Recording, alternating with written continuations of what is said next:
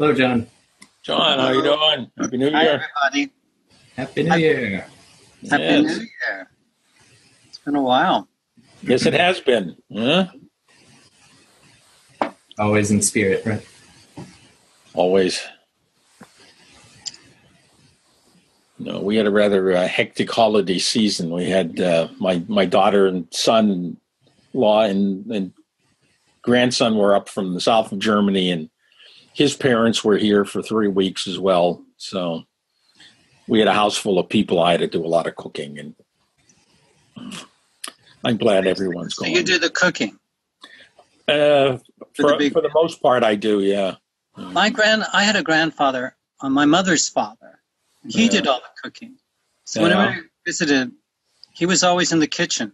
Yeah, that's where I spend most of my. It's very therapeutic. I find, you know. I, uh, My grandma with the, was in the back room with a cigarette smoking, and she was reading, um, you know, these like cheap romances. You know, she had a little bottle of schnapps somewhere that she would hide. A I. I had a grandmother who did, uh, who who read a lot of that uh, uh, cheap romance stuff, but um, she used to drink shots and beers. But she did, but she did a lot of the cooking too. So because she was a cook by trade, so my, my grandmother knew how to cook, but you know, my grandfather liked doing it. She left him alone, let him do it. So, and he was a good cook. He took great pride in it. So, yeah. I just, I'm just happy when things get on the table and it's not burnt. so. well, I uh, learned how to cook too. I mean, my mother put me to work very early, so I Oh, wasn't, yeah. you know, because she had to work, and you know, I had to feed the kids and everything. Yeah, yeah, yeah, yeah. I, I was one of five children, so um, if you didn't if you didn't take care of yourself, you weren't going to get uh, taken care of all the time because there was just like too much going on. So you learn to cook, you starve. yeah, yeah, yeah. Of course, everybody else was always congregating around. All of my brothers uh, can cook, though. I have to admit, we all we all kind of learned how to do that. It's It's a matter of survival in the end. yeah, I enjoy it. It's very Yeah. comfort, relaxing for me. I, I find it so. You know, I can block things out. Ah, Marco's here. Greetings, Happy New Year. Happy New Year. Greetings. Hello, Doug. survived the Hello, solstice. Marco. Uh, So, how are we all? Oh, well, not the worse for wear.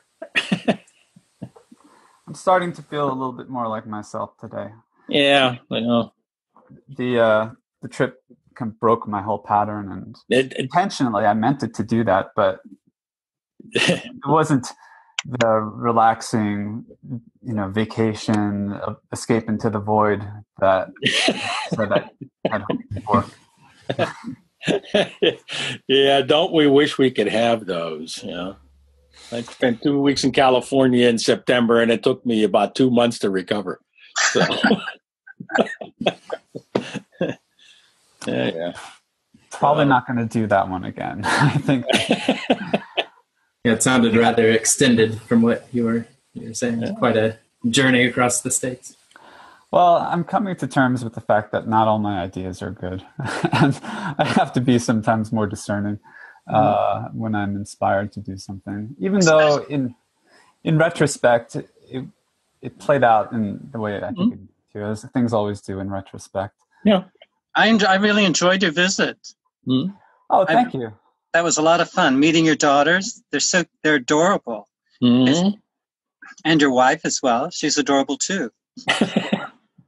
Well, there were there were definitely high points. There were really good things about the about the visit, and probably justify them all. So seeing you was one of them. Uh, visiting the uh, Cosm Chapel of Sacred Mirrors was another. Uh, I met another friend of mine as well, Brian, and and staying with the. I went to really see my family, and Hmm. and we went to see my my wife's family as well, and so that was the point of it.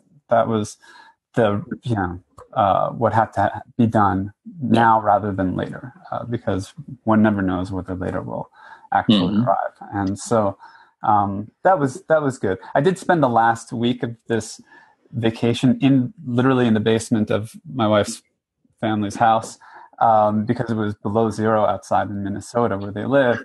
Uh, and so I just camped out in bed under the covers, catching up on the forum and listening to music, and that was that was the closest I got to the exis- to the void uh, on Mhm. multiple dimensions of void uh, this whole trip, and so that kind. Of, I, am It's good to come out of that. It's good to be back in Yeah. Colorado, um, but uh, I thought it was kind of almost an absurd way to, to, to be that I, I secretly appreciated actually, Mhm. and uh, uh, their family is very courteous and you know allowing me to do that. And the girls, you know, had a ton of Legos to play with, so they were just it was like Legos everywhere, Legos, dolls. they were in uh, you know La La Land uh, Yeah, pretty much the good. entire time. So yeah, that was good too. Yeah, yeah. and, and, and now we're here uh, to have a Cosmos Cafe, our first of 2018. Yes. Yeah. And apropos, we're beginning with the book of Genesis and the Hebrew alphabet. Yes, that's the that's the plan. Um, like I can tell you that uh, I've I've thought about this and rethought about this a gazillion times because um, uh, I, I don't I don't know where where everyone's coming from. That's the one thing that's always a problem when you when you try to do something with a with a group of people. Um, we've talked. I, I kind of know a lot of things about about all of you, but I really don't know a lot of details. And sometimes the details are the things that, that will stumble you up. So um, as we're going through this, if I if I start saying things or talking about things that don't make a lot of sense, just stop me and go, "Well, that doesn't make a lot of sense," you know, which is the the simplest thing to do, and I'll I'll try to do that because we we are I think if we if we go through this, going to talk about some things that may be familiar in, in certain regards and very unfamiliar in other regards. And the more unfamiliar things become, um, I don't know if you guys are like me, but then it takes me a whole long time to get it into my head that I can even digest or understand what somebody just said to me. Sometimes that uh, um, that's the approach, and and it could be that that a couple of things come up that just seem really odd and then you go, wow, wow, wow, wait a minute, you know, and and we can we can stop and we can talk about those things. But the the the whole idea behind this is because we were talking about space and time, and a whole lot of different different contexts, and that was the all the links that I was able to put into the to the page for this. Um, we don't have a common understanding of it, and we're all still trying to figure it out. Obviously, I am just as as much as anyone else, but um, my my life's path has been very different from a lot of people's, and so I've ended up places where I never suspected I would end up. Um, I never suspected that I would live in California, but I did for 14 years, and it's one of the few places I can actually. Well, I could live in the United States. After my trip back, I realized, well, I wouldn't be able to live there anymore either because things have changed so much. But I was there at one of those very opportune times where things kind of happen and you get exposed to a lot of things that you probably wouldn't have otherwise. And so I ran into people, I met people, I met ideas, I was able to pursue things that that had a, a very huge impact on who I am and what I think and why I think the way I do. And and I I know very well that it's it's very very different from most of the people I know. Uh, my uh, the primary reaction I think John can relate to this for very different reasons, but it's the same kind of thing. That's just a little too weird for me, you know. and they go, "I'll take a step back from that," you know. And I go, "Okay," and it and but it seemed perfectly normal. I, the one thing I did like about California is I never ever ever heard anybody ever say that's a stupid idea. never, because it didn't matter what you said. There was always somebody that was going to try to make money out of it. and there were other things that people said where you go, oh no, that's just too weird. And it's like, well, no, that's it's really everyday normal. I mean, California was in that regard when I was there at any rate, a very different kind of place to be.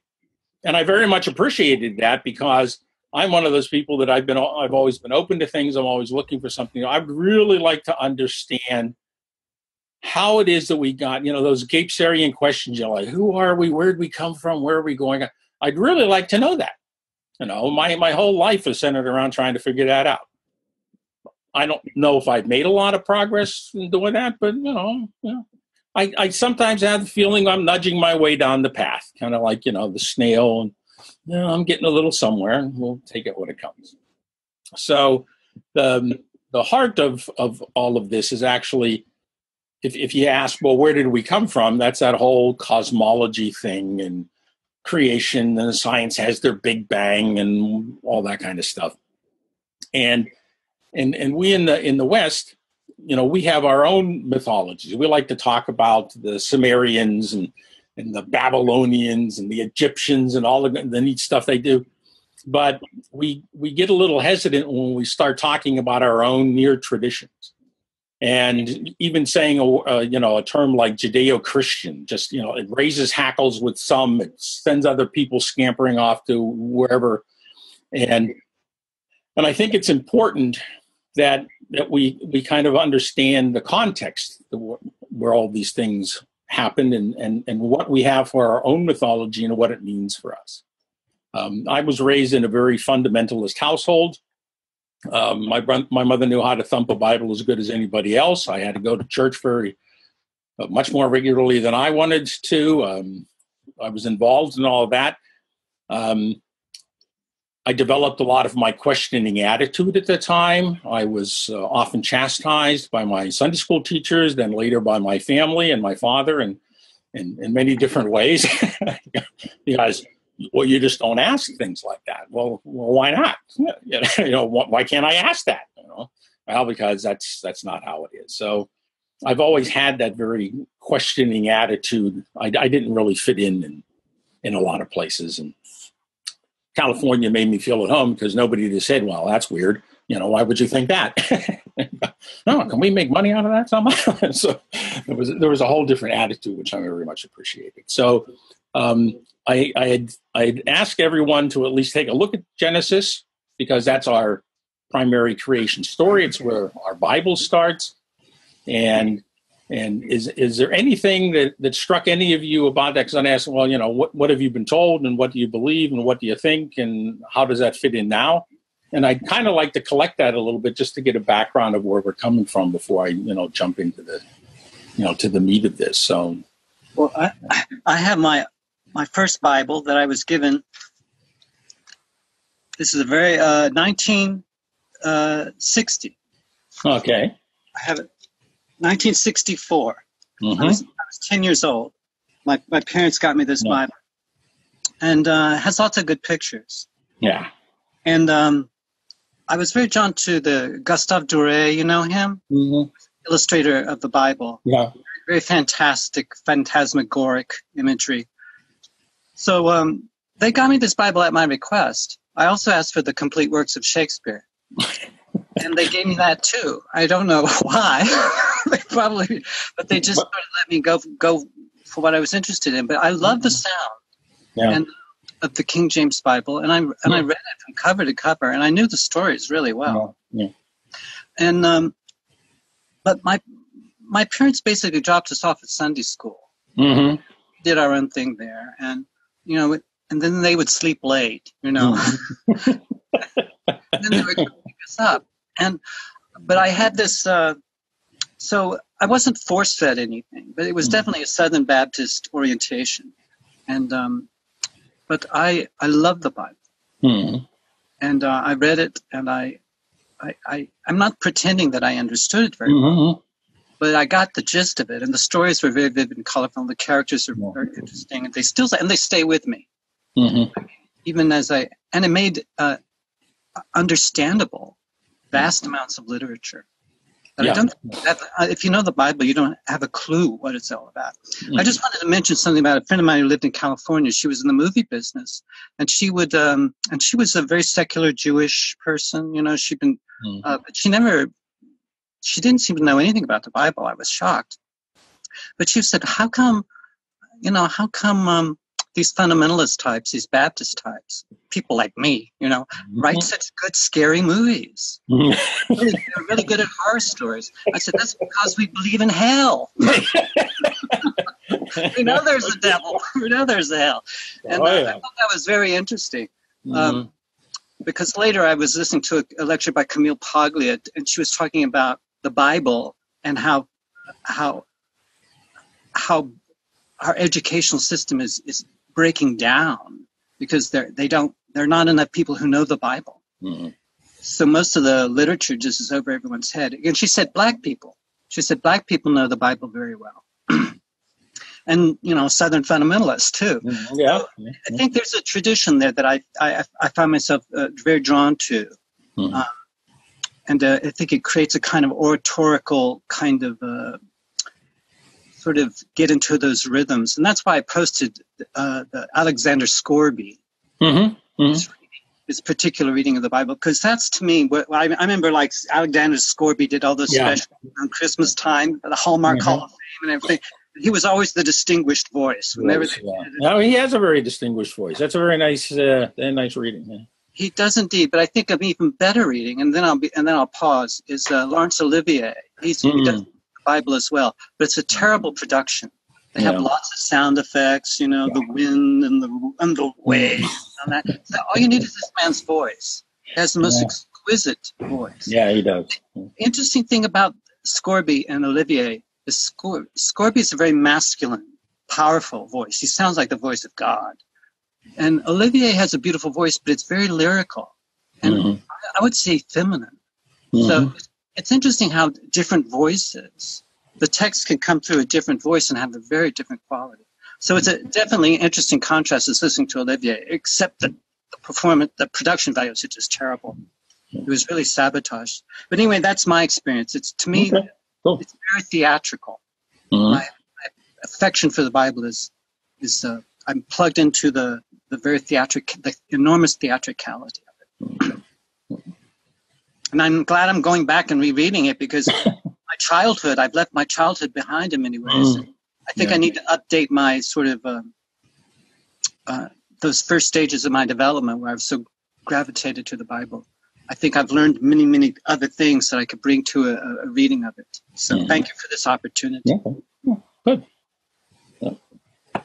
Well, I'm I'm looping around as to where I'd like to start with this, but uh, I guess going off of what you just said, John, I I, I have no memory.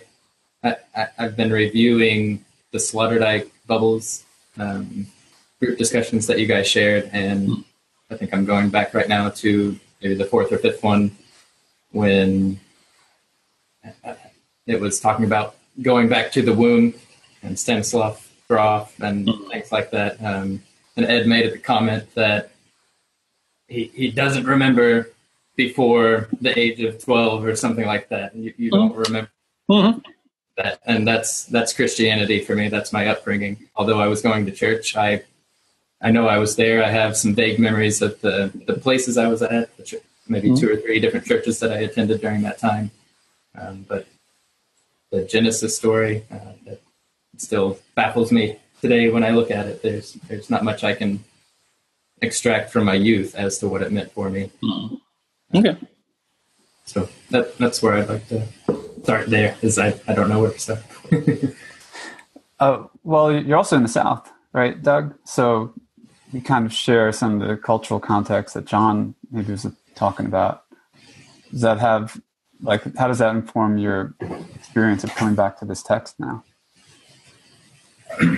I suppose I've always been. Uh, Tillich has an autobiography, autobiography called On the Boundary, um, in which he sees himself as between philosophy and theology, kind of the German culture that he grew up in, and coming to America after all the World War II, everything that happened, uh, along with other things. He sees himself on the boundary of culture and religious life. Um, my my mother was an avid Christian. My father was, I might have mentioned before, he, he doesn't share. He's very internal.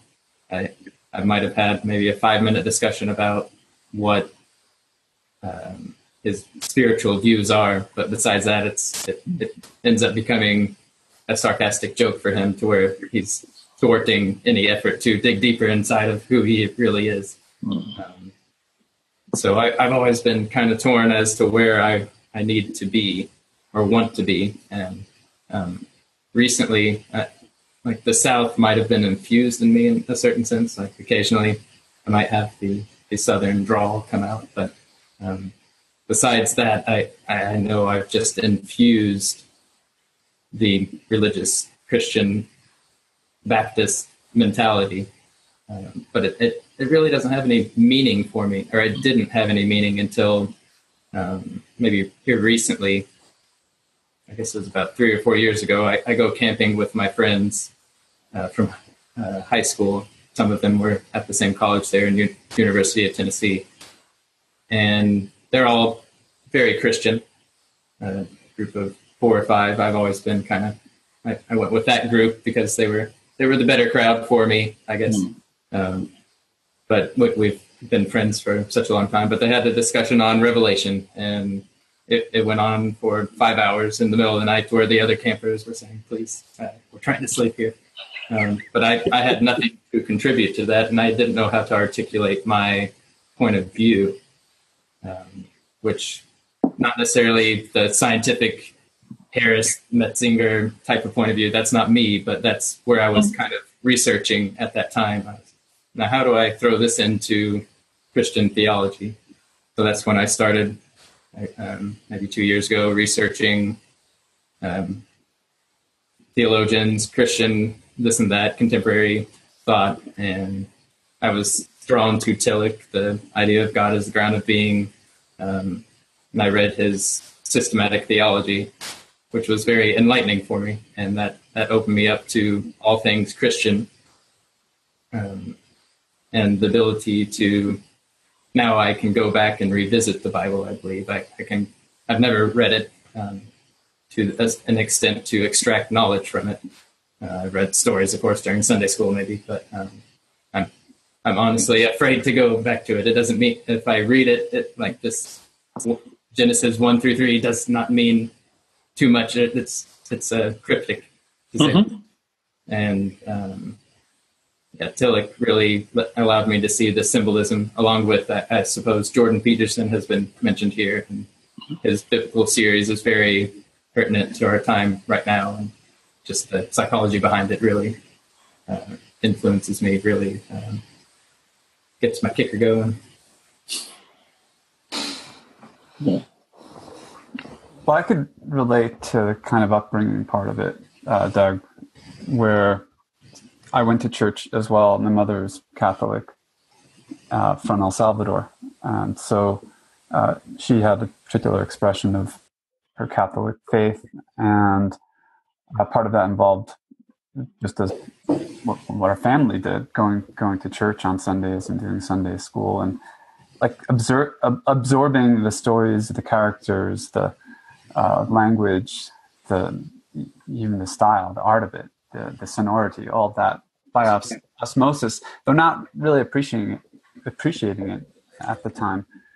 And I think probably when I was 16 or 17, I got into Jesus for a little while. I, I, I, felt I needed some guidance in my in my in my life. My soul was beginning to wander and you know detach itself from uh, consensus reality, and uh, I needed a savior. And so I I I think I, read the New Testament at, at, that time, and then I got into uh, my my mind's lost the need I think for that kind of figure and so I was off into the world of literature and Dostoevsky and Nietzsche and et cetera, et cetera. But to John's point earlier, what you learn uh, as a literary student, student of literature and philosophy, is that you can't understand that much about you know 90% of what's been meaningful that's been written in the last 2000 years w- without understanding the bible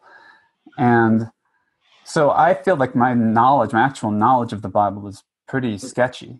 Uh, it's all kind of there, but it's jumbled up because I haven't studied it systematically. I don't um, participate in uh, Catholicism anymore unless I'm back home and go to church with my mom. Uh, but I would actually have to make an effort, a focused effort, to kind of sort it all out and refresh my memory and come to some grips or to a updated perspective on what it means to me. Uh, coming back to the book of Genesis now and to the opening words, and I, you know, because I think about and we've been thinking about space and time so much, anything that is about the beginning is very interesting. Uh, it's it strikes me as such a bizarre text, actually. and, like you know, if, if you are not familiar, if it's not just the water you swim in, and you come to it from from a literary perspective, I, the book I'm I have is uh, is the Bible. It's an edition that was made. Oh, I don't know, remember when. It's a beautiful book, 1950, and it's the Bible designed to be read as living literature. And so the stories are condensed; they're they're kind of put into a format. It's the same King James Bible, uh, but it's put into more of a readable format, as if one were reading it as literature. And that I found that form amenable uh, to me. I also really enjoyed the YouTube uh, reading, and um, that kind of got me in the spirit of what we were going to talk about today. Uh, I, I, I know that there are other sort of hidden aspects to the text uh, on the more esoteric side, uh, the kabbalistic and um, mystery type you know schools that that approach the text numerologically um, symbolically.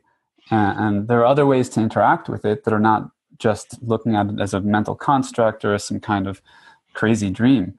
Um, and so I think that, that, that those, my understanding was that was part of what you have you've been studying, uh, Ed. Um, however, the dream itself is also really interesting. I mean, part of what you also said leading into this is that everything is connected. So, can we have a spacious enough um, uh, kind of discourse, uh, not just four five of us, but you know, insofar as what the culture that allows for those rich interconnections because there's so much historically, theologically, philosophically, mythologically, politically, um, and uh, math, for mathematically uh, that are embedded in this text that you know, if, if you just have one lens or another and you're constantly hostile to the other lenses, you may not see it very well. And I, I hope that part of what we're doing in these cafes is honing our lenses and our, our you know, our, multiple lenses and our ability to move between and combine our lenses. Okay, good. Very excellent. This is this is more or less what I what I expected. Uh, Marco, you mentioned uh got a, couple. You mentioned one word in, in, what you were saying. That was uh, Kabbalah. Um, does that does Kabbalah mean anything to any of you? I know that Marco mentioned it, so he's obviously come across the word before. I'm, i will be using it more than once before we're done. Um, does it mean something to you, John? yes, I, I have. Um, I have some sketchy ideas about the Kabbalah. Mm-hmm. Uh, I have done, you know, like intro, introductory level readings, mm-hmm. commentators. Um, some are more sophisticated than others. I don't know if you know this guy, Elliot Wolfson. Wolfson, you, yeah. yeah. He, I read this book and I loved it.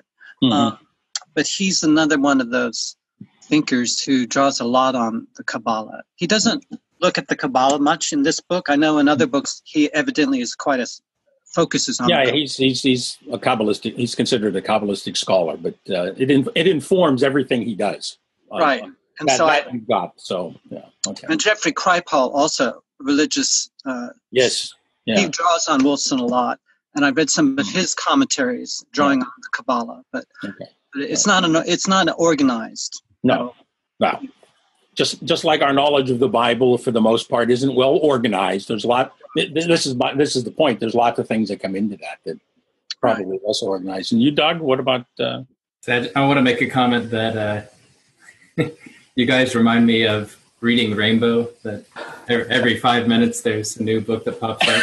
Oh. You say, you say, I recommend this book because I really like the story. And they'll give a summary of it. But uh, yeah, you guys are great for that. And no, I'm, I'm going to play the, the fool card for this one. I know very little. That's okay. Uh, yeah, and that, that's the thing because I'm trying to gauge what I say and where. And anytime anything seems obs- too obscure, just you know, flag it and tell me. Now, I, I have I have a bunch of PowerPoint slides. Not that I'm going to PowerPoint you to death. Um, the reason I did it that way is because I want to upload it when I'm done, so that anyone who looks at this afterwards and, and maybe wants to see what we're talking about would also have something as a kind of a documentation of what it is that we're going to go through. That, that's the reason. So um, I'll flip through a couple of things um, for that very reason and, and, and now provide just a little bit of background um, on, on what we're going to do. So we're going to try this screen sharing thing now. Okay? This should be exciting. Um, I'm going to call up uh, PowerPoint and go into my Bildschirm presentation. This is all in German. You won't be able to read my thing. It doesn't really matter. Just, So- just as uh, sorry to interrupt, but I'll probably have to leave around 4:30, uh, which is an hour from now. So it's Okay, I'll I'll I'll try to let you know. I'll try to get the to the main point before then. Believe me. okay. All right. I'm going to do the first couple of things really quick. Can you all see the sli- the slide that's up there? Or do I have to hit share I here? think I that's don't see share. Okay, you don't see it yet. Wait a minute. Share screen. Okay. Try this. Now I have to do my PowerPoint. Share screen. Hit the button. Okay, I see you guys on the right of my screen. Can you see this on the? Yes, I see it. Okay, good. good. All right, that's just the title. So we're going to talk about space time in Hebrew letters. All right? Context. We're going to go back to the origins. What we call the Bible, for most of us, is something different than what other people call the Bible. And when I'm talking about the Bible, and in this particular presentation, I'm talking about the Old Testament. It is the Bible for Judaism, for Christianity. It's the part that you didn't read, Marco. And for Islam, it's also a sacred text. The um, um, the Muslims recognize because that's where the story of uh, Abraham and Hagar, Ishmael, uh, come from. So it is for them a sacred text as well. So this this is what unifies that Old Testament, if you will, is what unifies the three Abrahamic uh, religions: uh, Judaism, Christianity, and uh, Islam. And it's made up of a bunch of different kinds of texts. The first part is called the Torah. That's the law, the first five books of the Bible. There are the prophets. We've all heard about those because they like to rail about social inequality and unjust injustice and how you're all going to end up in a bad place if you don't do the right thing. And then there's a lot of um, uh, poetry and wisdom literature, history books as well that are involved in that. And the interesting part is, is well, I'll get to that in a moment. But I, what I find the fun fact in regard to the Old Testament is, is Isaac Newton thought it was an alchemical handbook and would tell him how to turn lead into gold. And so he he wrote about a million words of biblical exegesis just to find out how to do that. And this is a part that we never get to hear about Sir Isaac because we're into his laws of motion. That was about one million of the words that he wrote. The other million words of the three million he did produce uh, were strictly alchemical texts in and of themselves. So we only have one third of Isaac Newton's stuff uh, going around, but we're happy with that. So in there, at the very beginning, we have this creation story, but there are two creation stories in the Bible. One of them is in Genesis. That's the one we know about the six days and rest, God rested on the seventh day where everything was made. The second creation story is the one that appears in Genesis 2.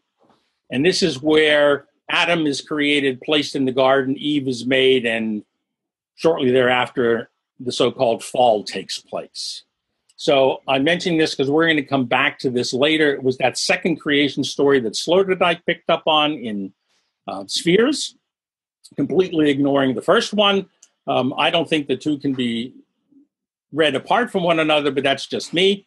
And the fun fact in relation to all of this is uh, Rabbi Isaac of Akko in 1280 or so calculated that the age of the universe was actually 15 million 300 a billion 340 million 500,000 years. so this whole thing about well it's 6,000 years old and we can what a lot of fundamentalists especially Southern Baptist fundamentalists like to, to express this this has been questioned for a long time because according to kabbalistic teachings for example the earth was 42,000 divine years old before Adam was even created. So God made the universe and then other things happened thereafter. Uh, this temporal aspect doesn't come out in those first two stories because they just run into each other in the text themselves. But it's kind of interesting to note that people within this sphere have been thinking about this differently than we generally understand that they have been for quite some time.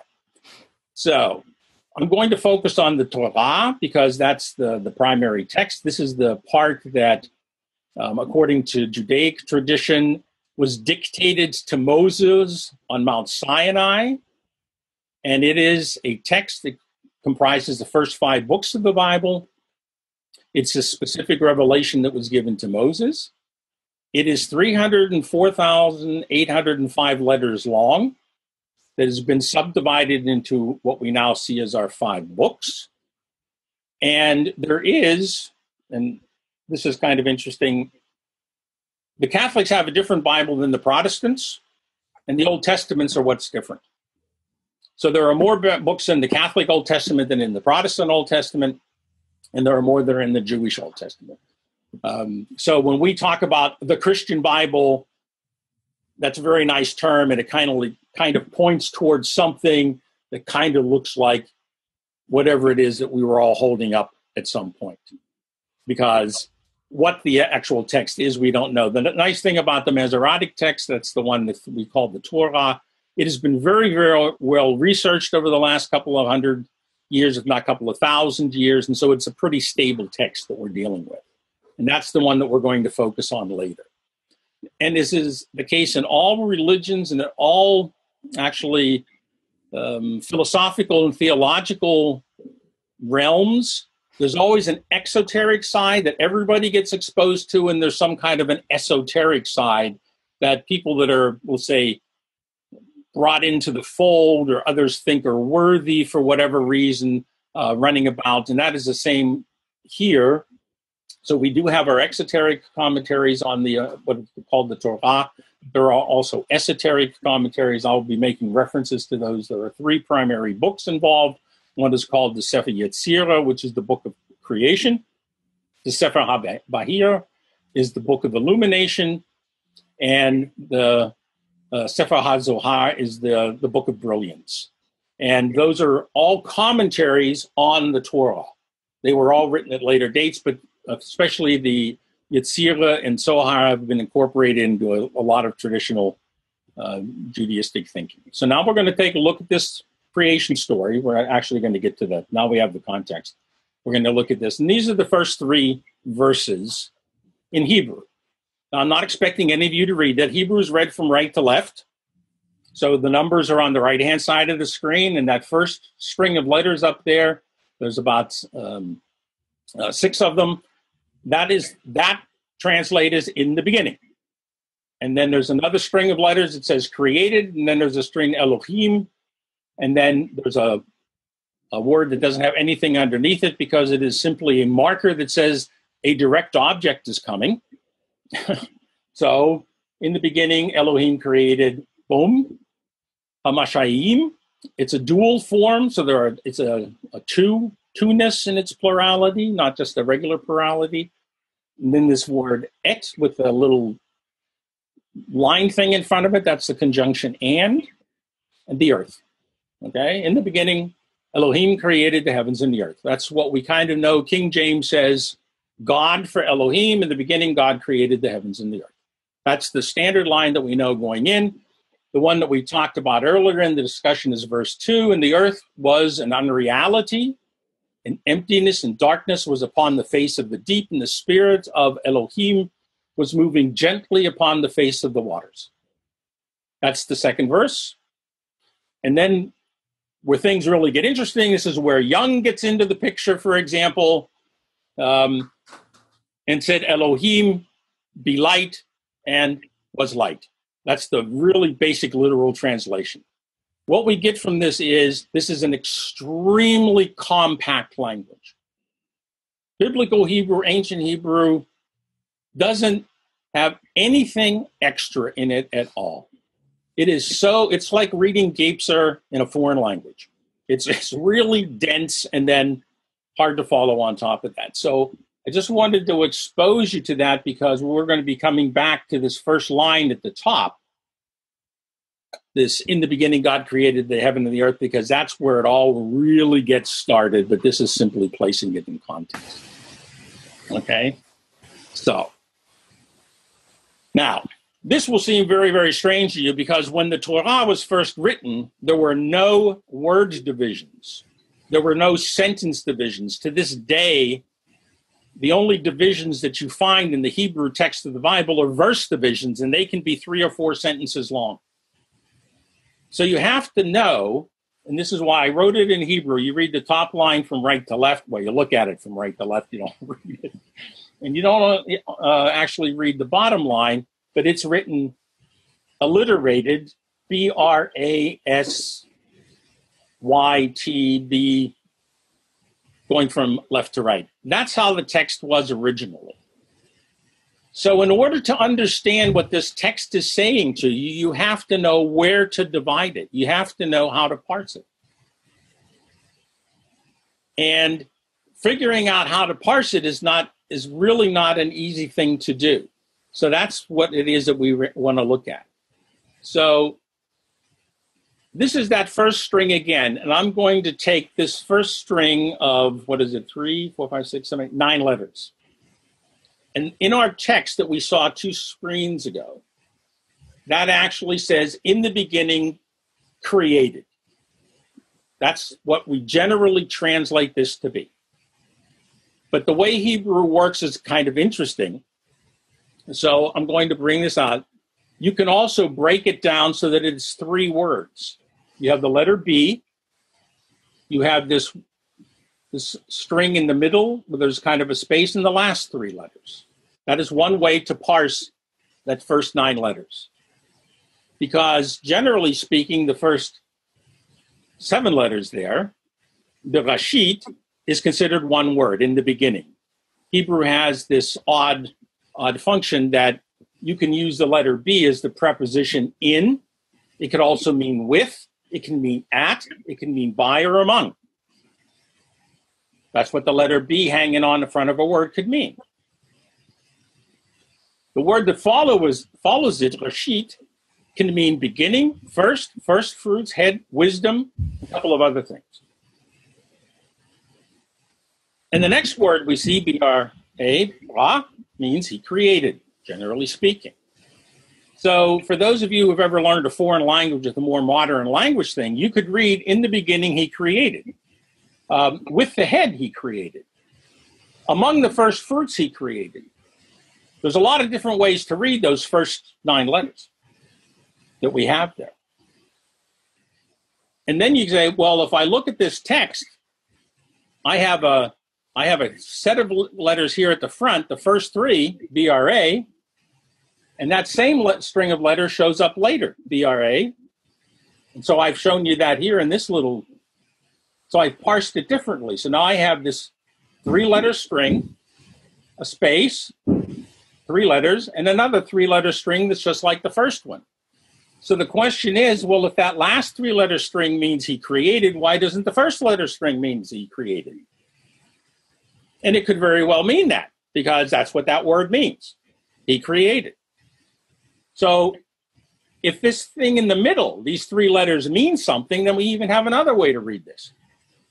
And as it turns out, that sheet in the middle can mean six. So now we have he created six, he created the heavens and the earth. Or he created a thorn, he created the heavens and the earth. And as it turns out, because of the way Hebrew was made, and there were no vowel points. You saw those little points above and below the letters. Those are the vowels in Hebrew, and they came in about 1000 uh, AD.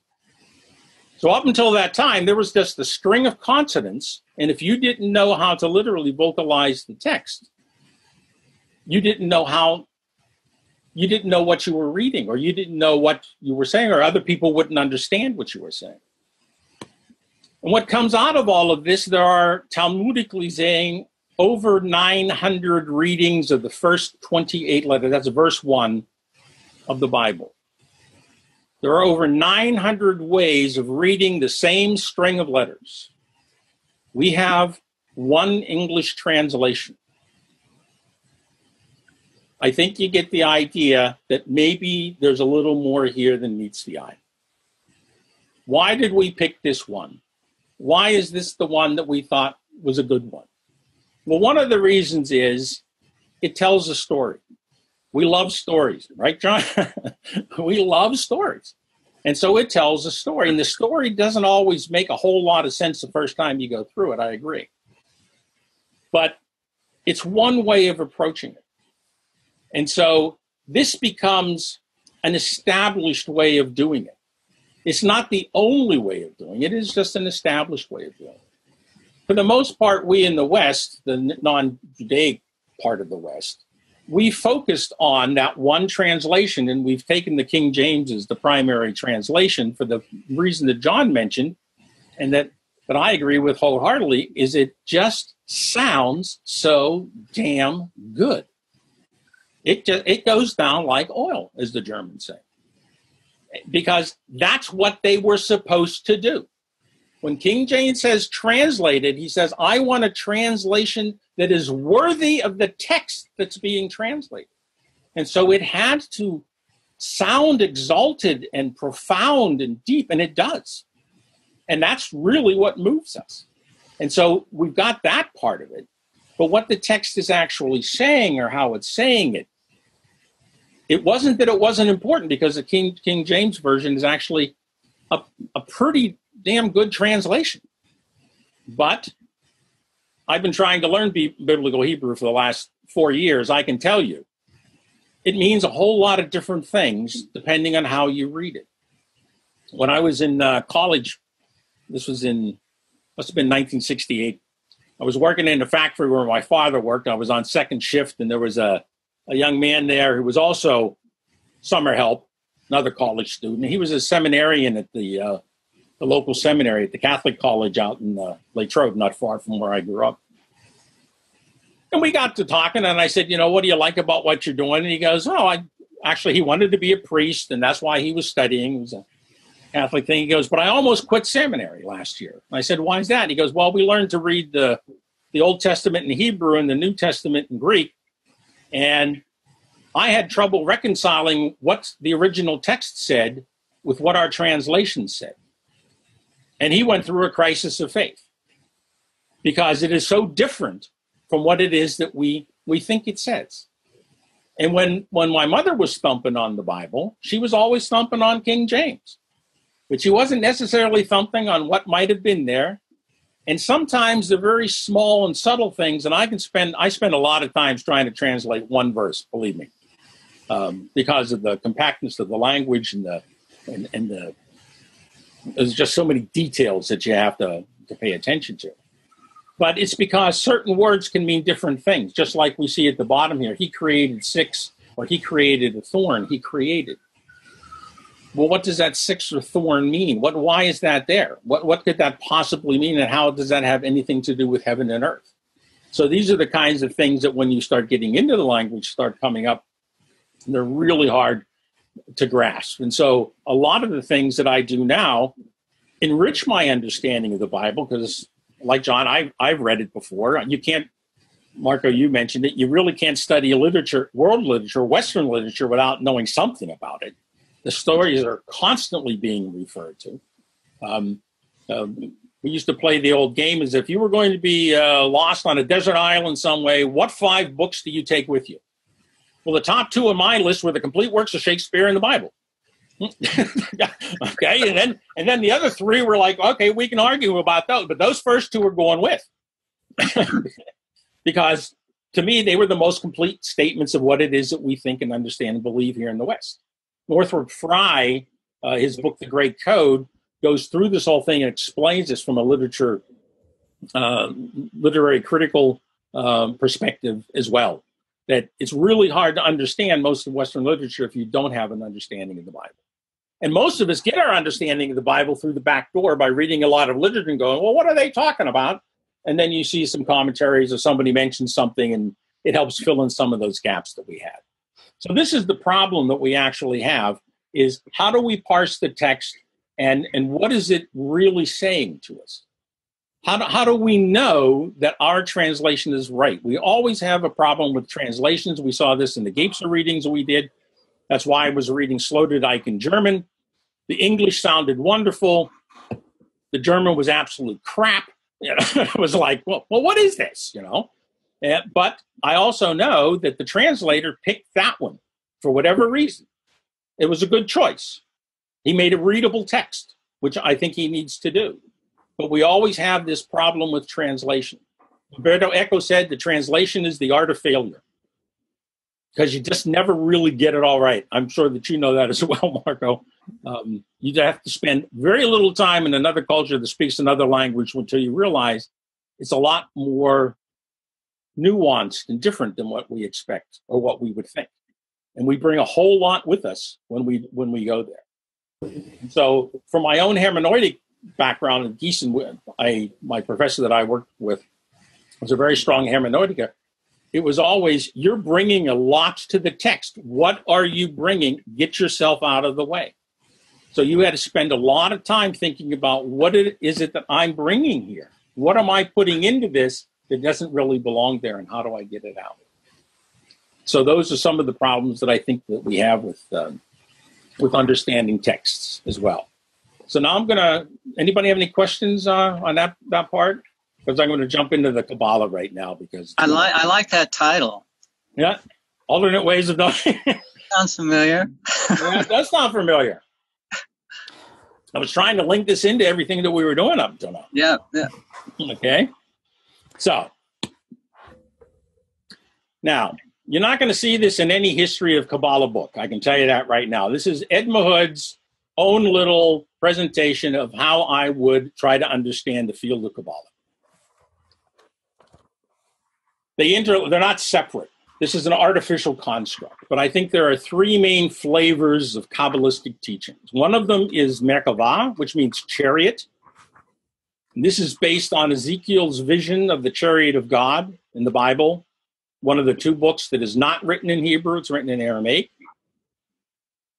It's the wheel of wheels and the images of the man, the four figures that the apostles are usually connected with in the in the New Testament, the lion and the cherub and the and uh, and the bull, etc., they come from this vision in Ezekiel. This is often referred to in standard literature as ecstatic Kabbalah or mystical Kabbalah.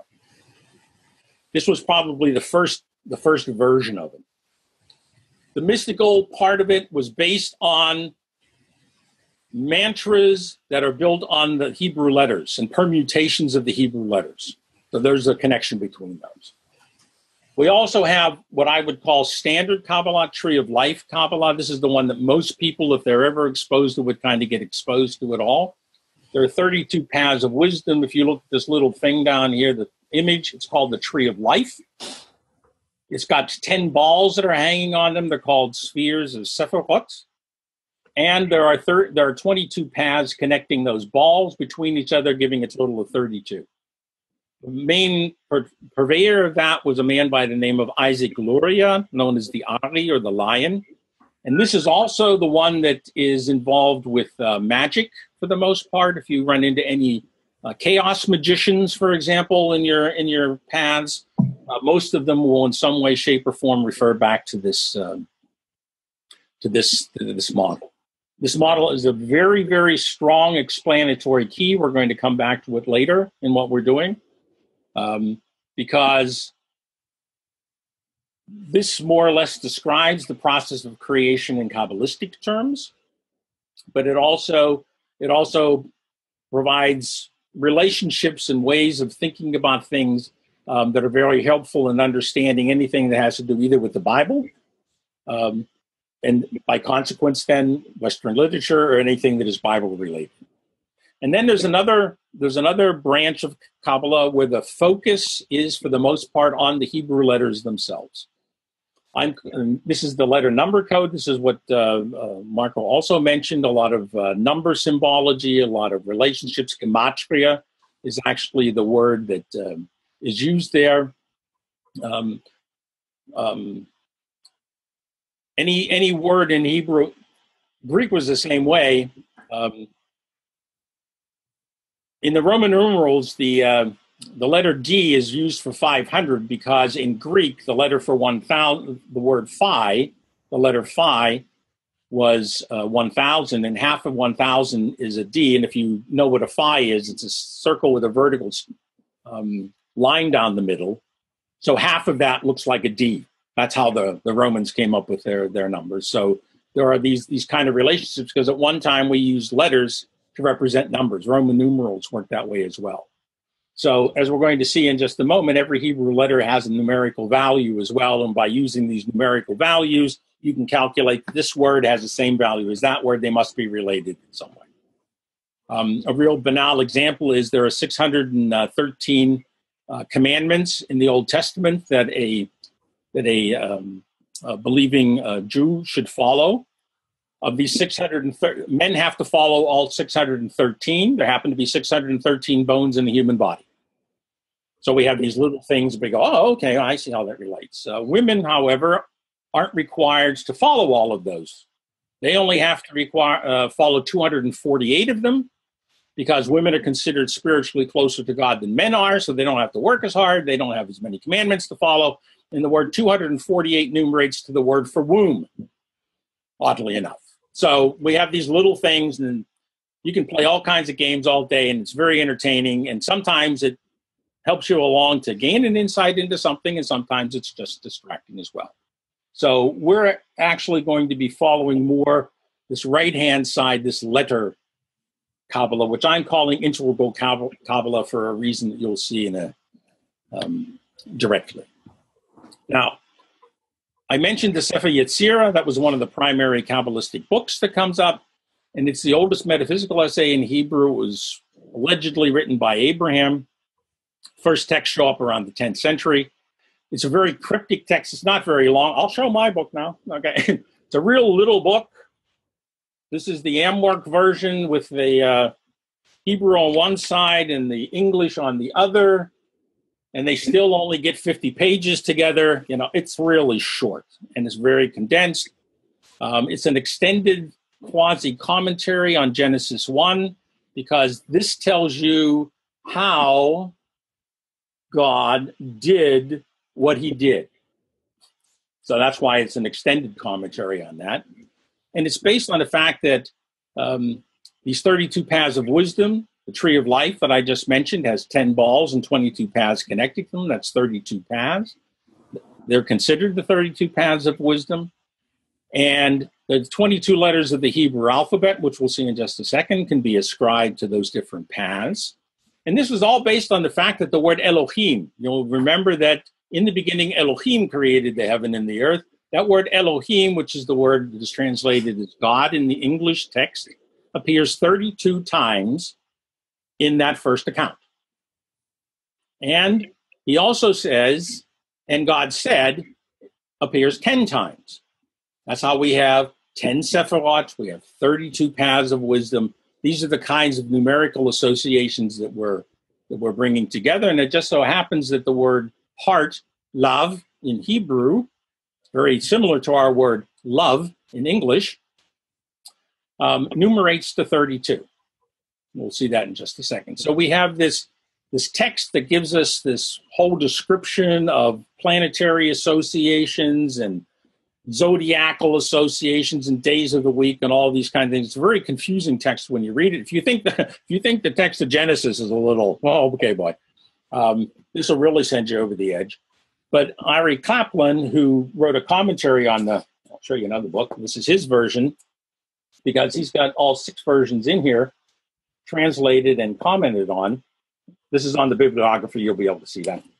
Um, he says that what is being described in here is the creation of a um, 5D space, a five dimensional space, because there are 32 apexes on a on a 5D hypercube. So right right here, when you start digging into, let's say, this esoteric side of things, we eventually start popping out in other realms that are much more familiar to us as moderns, for example, mathematical. Frankel mentions a lot of things. You read some of Einstein or Heisenberg, and you're going, I don't know, sounds a little mystical to me. And in a lot of regards, it is, because there seems to be very, very close relationships between those things. And if you're like me and believe that everything is related to everything else, it's not unsurprising to stumble across things like that. So, what may be described here, this is about how creation took place, maybe maybe something other than just a, a six day, I'm going to put an earth together, separate waters and land, grow plants, have animals, and and put people on it. You know, it might be more than that. So those are the kinds of things that we need to need to think about. Now, I'm not going to go through these. Um, you can read these afterwards because they're just long text. But I put them in here because they're different ways of thinking about that string of letters and what it might mean and how they might relate to one another. Because that's what a lot of Kabbalah does. That's what the Sefer, Sefer Yetzirah does. That's what Tree of Life. Kabbalah tries to do. The mystical, the Merkava Kabbalah is more meditational, more inward looking, let's say, but they also use these Hebrew letters in order to create their mantras for those meditations that they do. So um, there's another page of these we'll go on because what we what we kind of need to know, I'll just do the first one up here because Suarez is he's a letter Kabbalist in the 20th century. And he says, in the severity of its beginning, in the first chapter, in its first verse, first chapter, Genesis 1, first verse, Genesis 1 1, in its first sequence of number letters, all Hebrew letters are also numbers, is the seed, and in the seed is the whole. This whole can be and is expected to be grasped in the Beit Resh Aleph Shin Yod Tav of Bereshit. The sequence is in the revelation and is the revelation. Well, if you think the Bible's cryptic, there's another one on top of that. But what he's saying is that each individual letter has a significance that goes far beyond what it is that we think it is as just letters. So, this is the alphabet, also read from right to left. You will notice that there are three sets of nine letters each. There's nine letters across the top on three rows. Every letter, like this first one up here, Aleph, upper right, means ox, has number one, Beit, house, number two, and so it goes to Tate, which kind of looks like a snake or a serpent, number nine. Back to the second row. Yod is a finger, 10. So the names of the letters are kind of translations of what the Hebrew word says that describes it. Kaf is a palm of a hand, for example. Um, and so this is the way that they come up with doing all of that gematria. We we saw that love or lev, depending on uh, where it is, is 32 because here's the lamed, which is 30, and beit, which is the second letter in that word, is 2. So 32 gives you 32 paths of wisdom. And this is at the heart of what it is that we're going to do. So this is what the the alphabet looks like. This is one way to structure it so that it is easy to remember amongst anything else. And it's based on these letters that we really want to take a look at the text of, uh, of Genesis. And so, what I want to introduce to you now is um, the Meru approach. And Meru is the name of the Meru Foundation. It's an organization. guy lives in uh, California now. He was in Sharon, Massachusetts for that's where he originally comes from. And he has been studying Genesis for the last, let's see, started in 1968. He started looking at it. He published his first article kind of about it in 1989. And he's been doing this ever since. This is all he does. He and his wife are in this foundation, and the only thing that they are, are, are looking at is the Hebrew text of Genesis and what it might mean. And he's come up with a few things based on some of these ideas that I just ran by you very quickly about letter codes and the numbers and the secrets. You see, there's this Kabbalistic teaching that says um, the secret of all creation is in the first letter of the Torah. But if you don't understand it and get it by grasping that first letter, it's in the first word. Well, we just saw it's hard to determine what is the first word. But if you don't get it in the first word, it's in the first verse. And if you don't get it in the first verse, well, it's in the first chapter. But if you don't get it in the first chapter, it's in the first book. And if you don't get it in the first book, it's in the whole of the Torah. So Hashem, God, in all of his infinite wisdom, is telling you This is the secret of creation. Here it is right before your eyes. All you have to do is understand it. Well, I kind of agreed with Stan. Stan Tenen is the guy who's doing the work here. I agreed with Stan. He goes, looking at the first letter really doesn't give me the secret of creation. I'm not getting it. No. So what he did is he said, I'll look at the first verse and see if that makes some kind of sense. And so that's why we're going to do this view from the inside out now. We're going to kind of take a look at what he's what he was talking about. And his explicitly stated goal is to understand what the original Hebrew or Aramaic is actually saying. I love these words by looking through the translation. That sounds very diaphanous to me. That's very Gebserian, although I know he doesn't know Gebserian or by attempting to integrate the common meaning behind several different translations. What he's looking for is what is invariant about this text that always remains true no matter how you portray it, no matter how you express it in Hebrew or how you translate it. What is at the root that never, ever, ever changes? That's what he's looking for and he's and what I like about what Stan does is he refuses to just take the best what looks like the best reason at the time. He is extremely rigorous in what he's doing. This man has spent the last 40 years of his life running around from one mathematical because he does a lot of geometry things we're going to see in a moment. But running around from one mathematical faculty to another saying, this is what I found. Tell me what I did wrong. It shouldn't be that way. What's wrong with it? Disprove it, falsify it. He insists on scientific, according to our general understanding of what science is all about, verifiability, irrefutability, and invariance. And one of the other criteria is it says he has to be coherent, consistent, and elegant. It has to always be the simplest form. If there's any extraneous assumptions, anything I'm kind of throwing in from the side to make it work, then that's not good enough for him.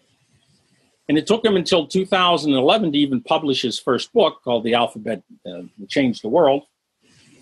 This is also in the bibliography. The Alphabet That Changed the World because he was so hesitant to go to the general public until he had acceptance in the scientific and religious communities. He spends a lot of time in Israel working with, with, with Torah scholars and rabbis about things that he's finding out about the texts and what he's communicating to them. Because if they're not satisfied and the scientific community isn't satisfied, then he's not satisfied. It has to be acceptable to everyone across the board. And this is where I see a real life example of a person who's trying to bring the scientific and religious communities to the same table. To actually agree that there's more here, or we agree at what we're looking at. That's what he's trying to do by looking through the text to this this invariance. And he's and he's adamant about it. He's he's. I've never seen a person who was so so dedicated to what he does as Stan Tenen. And I've I've had the opportunity to, to visit him a couple of times when I was in California, and he was there as well. Uh, he makes models for everything. Uh, I'll give you some links later so that you can look at some of the models that he's made and some of the things he's come up. He also has YouTube videos that explain a lot of this. So anything that that I don't make clear, and I'll I'll probably garble more than I do make clear before it's all over, um, can also be um, looked at and, and thought about as well. So what he did he said, "Let's look at the first verse of Genesis." So I put it back up on the on the screen here for you. That's that string of 28 letters that we looked at to begin with. All right? That's the one that reads, "In the beginning God created the heaven and the earth." And the reason he took this, he said, "This is a meaningful unit for the following reasons." There are 27 letters followed by the 27th letter of the alphabet. I'm going to skip back real fast to show you. If you look kind of this Y looking thing, it's a final form. It's the same as another letter in the alphabet, but it's only used at the end of words. So this is something that was introduced into the text that became very helpful for defining where words might be. That's the one at the bottom lower left hand side of the screen. It's the very last letter in the Hebrew alphabet. It's that tzadi. And it is the last letter of the word haaretz. I'm going to go back to our original text. Yeah. If you look at that first string, you see it. It says the earth, haaretz. What you notice as well is if you go to verse 2, there's a little line, and then the word haaretz appears again. You have the same string of letters, the same string of four letters after that little upright as you do at the end of the first line. And what he's saying is this looks like to be this looks like to be a unit because I have this word followed by the same word as a kind of handoff to the next idea that's coming. So it makes sense to look at this 28 letter string as a single unit. And that's what he's what he's looking at, and that's what we're going to look at now.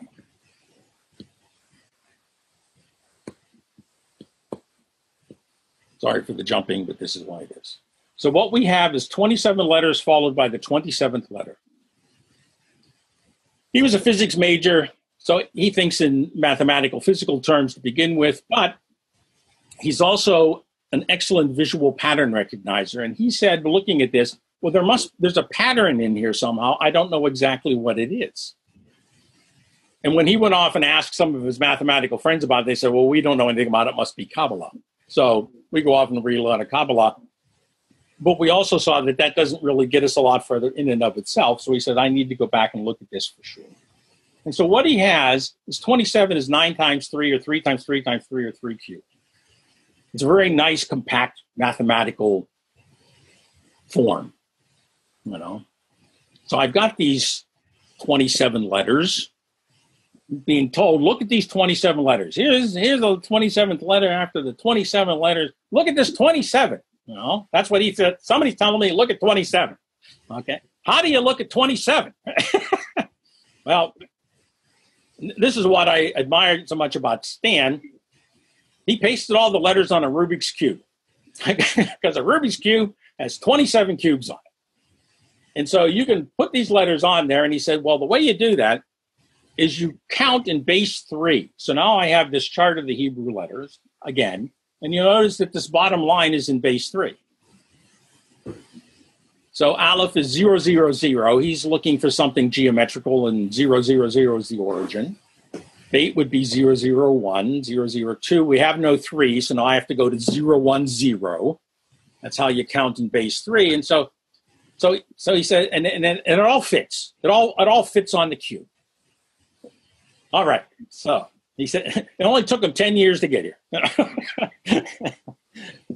and he spent, I don't know how long, he tried this with other base systems, it didn't work, but for some reason the base three system seems to work. He put them on there. And so what you get is this picture on the left where he, this is kind of split apart so you can see how it is, but he put them all on there.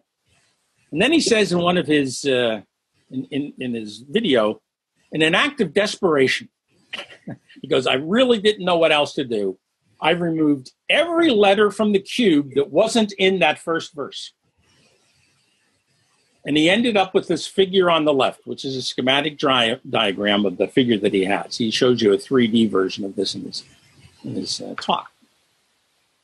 And the one thing that you notice about this diagram, it's an odd diagram, no doubt about it.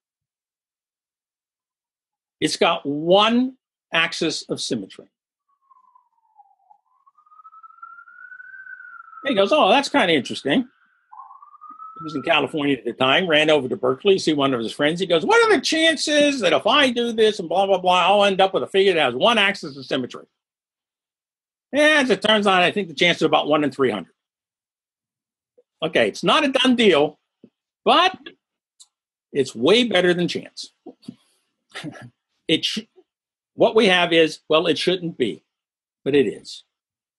And the thing that then is interesting about it when you look at it, he's got the, the base three numbers on here. But if you look over on right in the middle, if you take that right in the middle of the horizontal plane, you'll see that very hard to read. But over here on the left, you see a 210.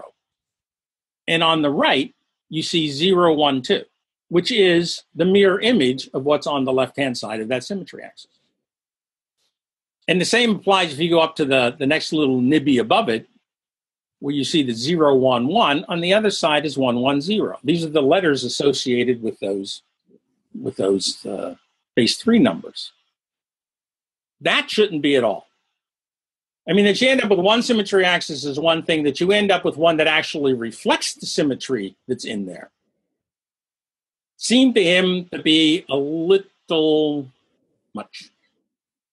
And the ones that are all on this vertical axis, which is the symmetry axis, if you look at the numbers that are in there, they are all symmetrical to themselves. 222, 212, 202, 000. And so I end he ends up with a lot more symmetry than he bargained for.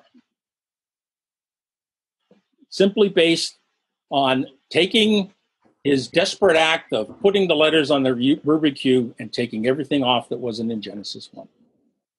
This shouldn't happen. So, after a long time looking at this, he realized and now we lay this down, that there are symmetry pairs within that first verse. Here again is that first verse broken down into two rows, and I have simply color coded where within this text itself, symmetrical letters appear before and after in the verse.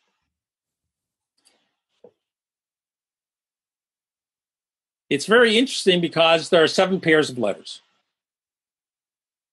Now, I know that, the, that Jeffrey was a little wigged out about um, Arthur Young and his sevenness kind of thing. And I can tell you that uh, Stan was also a little bothered. Why would it be seven? Um, Arthur Young would say, well, why wouldn't it be seven? because there's sevenness all around this. And one of the nice things about uh, Stan, he, he worked together with Arthur Young for a long time. Arthur was involved in aspects of this, and he's based a lot of his model on his own models. Stan's Meru model is based on the process model from Arthur Young for this very reason. So now we have these symmetry pairs. And we can look at this in another way. If we look at that first verse again, that's across the top, is that string of letters. Here he's shown where these letters drop out. And so we have a green bar where we have what ends up to be this is the squiggly is an R. So we have RRL, a lot of stuff, and then the R again. And then the next one we find there's a T T V T. And then there's an H H M H. And then down here at the bottom, the pattern sort of reverses and it goes Y B Y Y. So you have a symmetry pattern that's running through the text, and then all of a sudden you have one that reverses around the other way.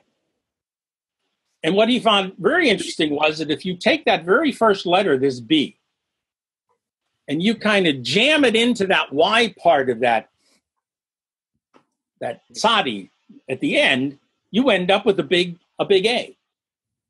A is the first letter of the alphabet, but it doesn't appear as the first letter of the text. The B does. So what he has is these recurring symmetry groups that more or less show this this string turns back in on itself.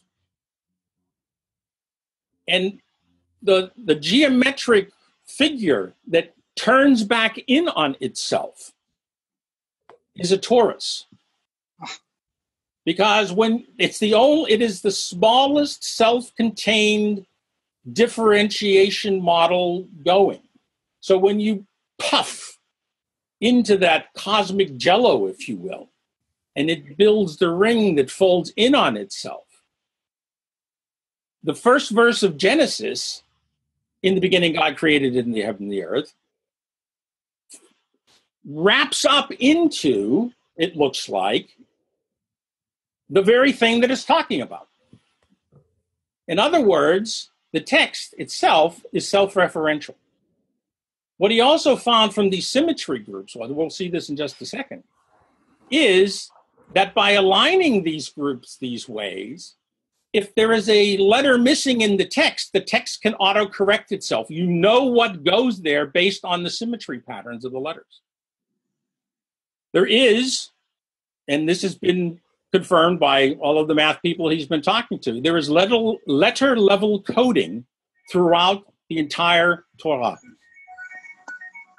At the letter level, it is self correcting and self referential.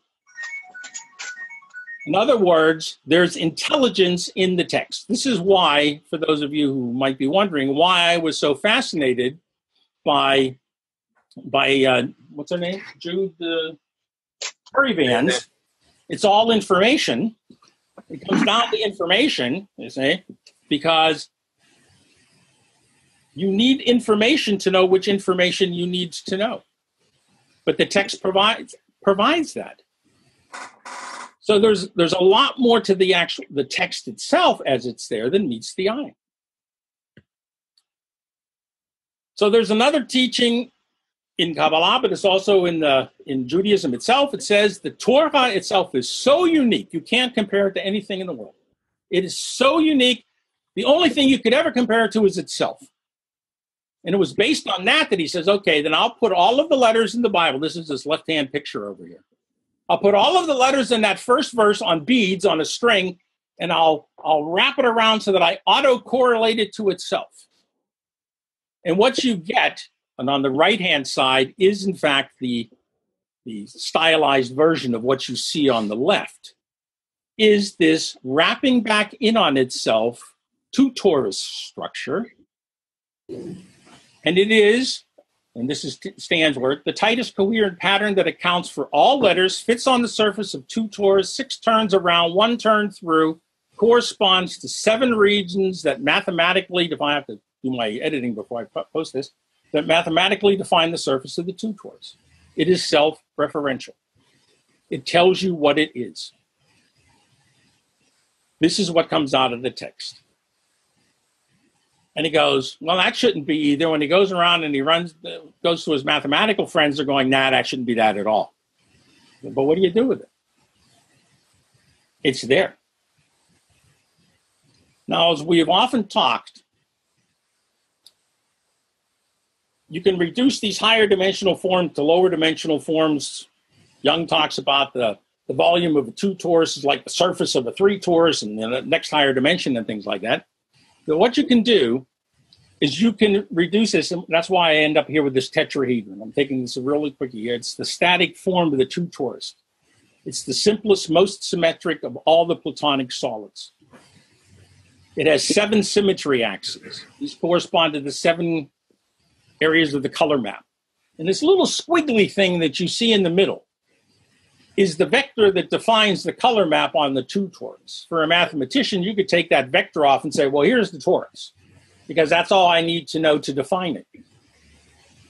And this little squiggly is interesting because it has no symmetry. I've mentioned this somewhere else, but it has no symmetry anywhere. And this is what Stan refers to as naked recursion. It's nothing but recursion. It is simply always referring back to itself. And the thing that is so interesting about this little squiggly, when you put it in this tetrahedron, it kind of looks like a tent. You know, there's also a Kabbalistic teaching that says when the light is lit in the tent of meeting, Hashem will, will appear, will be amongst you.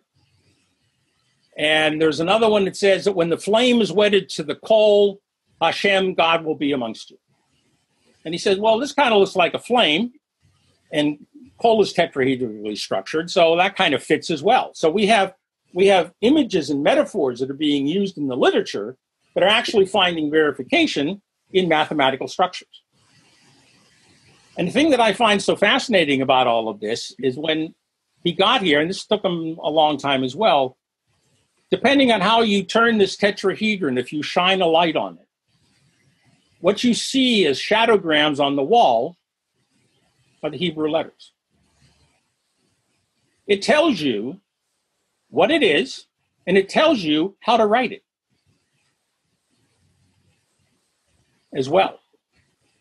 And from this, he has developed what he calls the first hand. And that's this little thing that he's got on that you can see in his hand. This is a one finger version on the left. This is the right hand pictures, and there's a four finger version on the right. And you could hold these things in your hand and you can move them to point however you like in three dimensional space. And when you do, you would see in your mind's eye, because we know where we're pointing, shadowgrams of the Hebrew letters. So you can act, you can gesture this way. So what we find interesting, you'll have noticed on the uh, Hebrew alphabet, I had the letters were differently colored. There were three that were brown, there were seven that were blue, and the other ones were black. Because it says in the Sefer Yetzirah that the text is divided into three mother letters, seven double letters, and 12 single letters. Well, we can see how this 3712 format appears on how these different torus knots, which is what he's actually referring to, that's of these squigglies that are in there because they define the torus itself, break down. In other words, there's there's a high degree and a high level of intelligence embedded in the text as well. So it tells you what it is and it tells you what it's for. And by by using these things, he has put together. I'm showing you. You don't have to look at this in, in detail, but he shows you how to make all of the hand gestures so that if for you looking at it, you would see the letter, and for a person who's looking at you, they would see the letter in your left hand and you would see the letter in your right hand. So there are, he has developed hand gestures for all of the letters of the alphabet, and it turns out that most of them are self-defining as well. So when you say the word mouth, you put your hands like this. When you want to letter the word galgal, which is round, you do this which is kind of gesturing what it is. And it turns out that these gestures are very similar to gestures even that blind people use who don't know about gestures because even blind people gesture when they speak. When when uh, Jude Currivan was doing her talk, John had mentioned she has this wonderful expression that she has with her hands, and she does, because most of us do, even non-Italians. She's English, but she's got this whole thing going. And I found it interesting that the more she's digging into her cosmology, I think the more expressive in her gestures she's becoming. This is just a reaction on my part. This has nothing to do with what in fact may be there. So what this means is you could in fact gesture the text. But anything that you can put into this form, where that hand is, where you can imagine that there would be this, this vortex that gives you the shadowgrams of the letters, you could do in any form at all with your body. And so it is also more than conceivable. It's likely, it's actually, I think, to be recommended. You could dance the text, you can gesture the text. There's a relationship between these gestures and tones of music as well. You can you can play the text as music.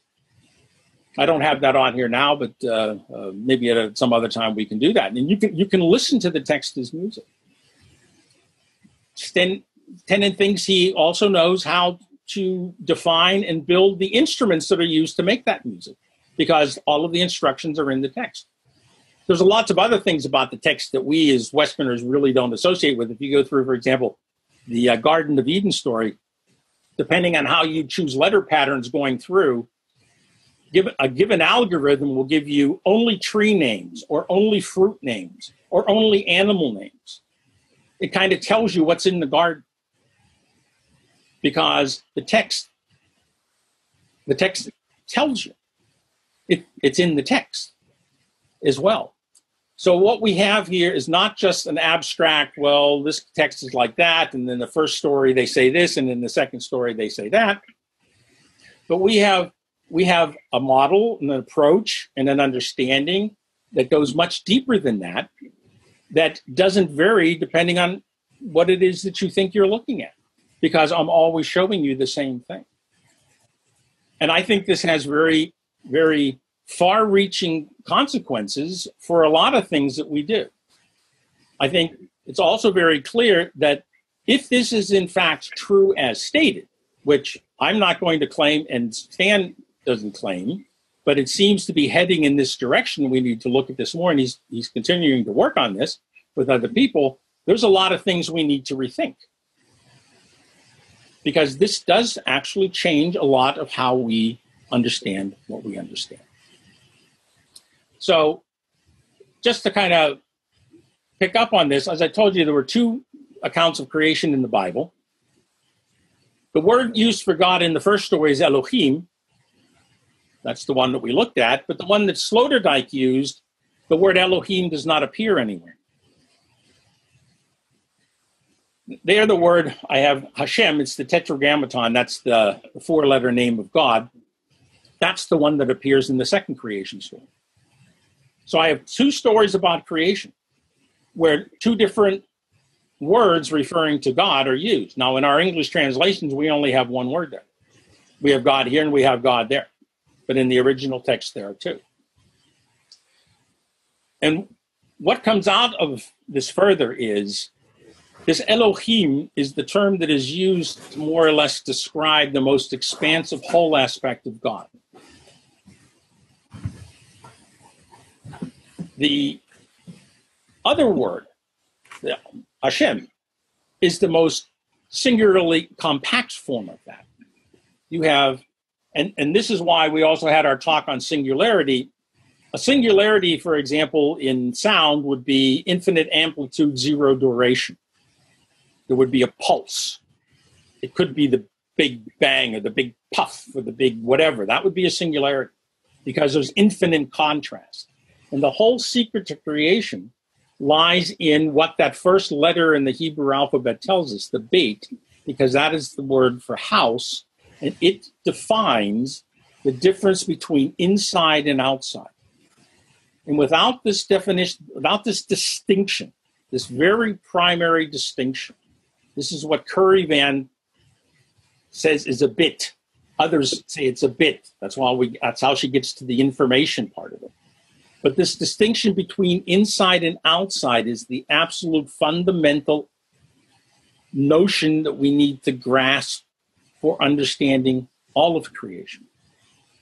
And it's based on the idea of infinite contrast.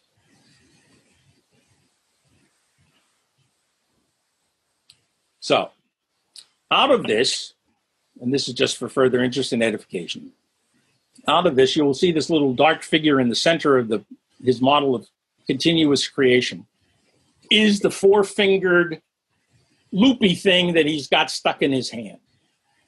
And in order to define this apple looking thing, which is the model itself, you need six hands. You need six hands, and the thumbs will always be in the center. So you have six items plus one in the center, and six plus one are seven again. We come back to seven. But he believes that these that this describes the symbology and the metaphoric of all the Abrahamic religions. He calls it here in the center. You can hardly read it here. You can see it better when I give it to you. You can magnify it. This is the tree. This is Yggdrasil in the um, Nordic tradition, for example. This is the tree of life. These are the waters above and below that are talked about in the second uh, verse of Genesis, because there's a plane in the center, the earth plane, so to speak. This is also the Emerald tab- Tablet of Hermes. He has an article on that in one of his books. Um, this, up here in the upper right hand corner, just the second image down, is the star and crescent, which also comes because there's a star of seeds in the center of the apple. That's why the apple is generally considered the fruit of the fall. Doesn't say apple in the Bible. It just says fruit. We've all decided in the meantime that it's an apple, and probably for good reason. Um, apple is also in the in the Greek pantheon uh, for Apollo, which comes from Apollon, which means not many, a one. That's, that's what his uh, his name actually means. So we have all of these these ideas, these notions that keep coming back and can be, I'm not saying explained, but can be demonstrated and more easily comprehended on the basis of this geometric model that he has come up with. This is where things actually, for my way of thinking at any rate, starts to make sense. And they're all related to this geometric metaphor which he's been able to pull out of the text.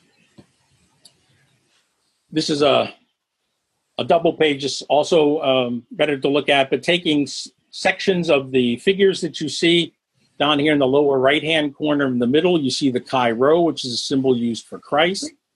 Uh, he's the only person I know who's been able to explain why we use the form we do for a heart. Because when you look down the apple, you see a heart from the from the swirls that interlock with one another from the torus knots. Um, this figure over here is another form of the um, of the the torus knot and the torus itself. Play if you if you mapped it onto a cube, it would look like that. What's interesting about this one is um, you went there are there are six alephs in the text, and they all line up with the corners. And the seventh one that gets generated when you put the ends together ends up in the middle. Now, what is interesting as well is he's done a little bit of work. He hasn't done a lot of work in this regard, but the models that he's developed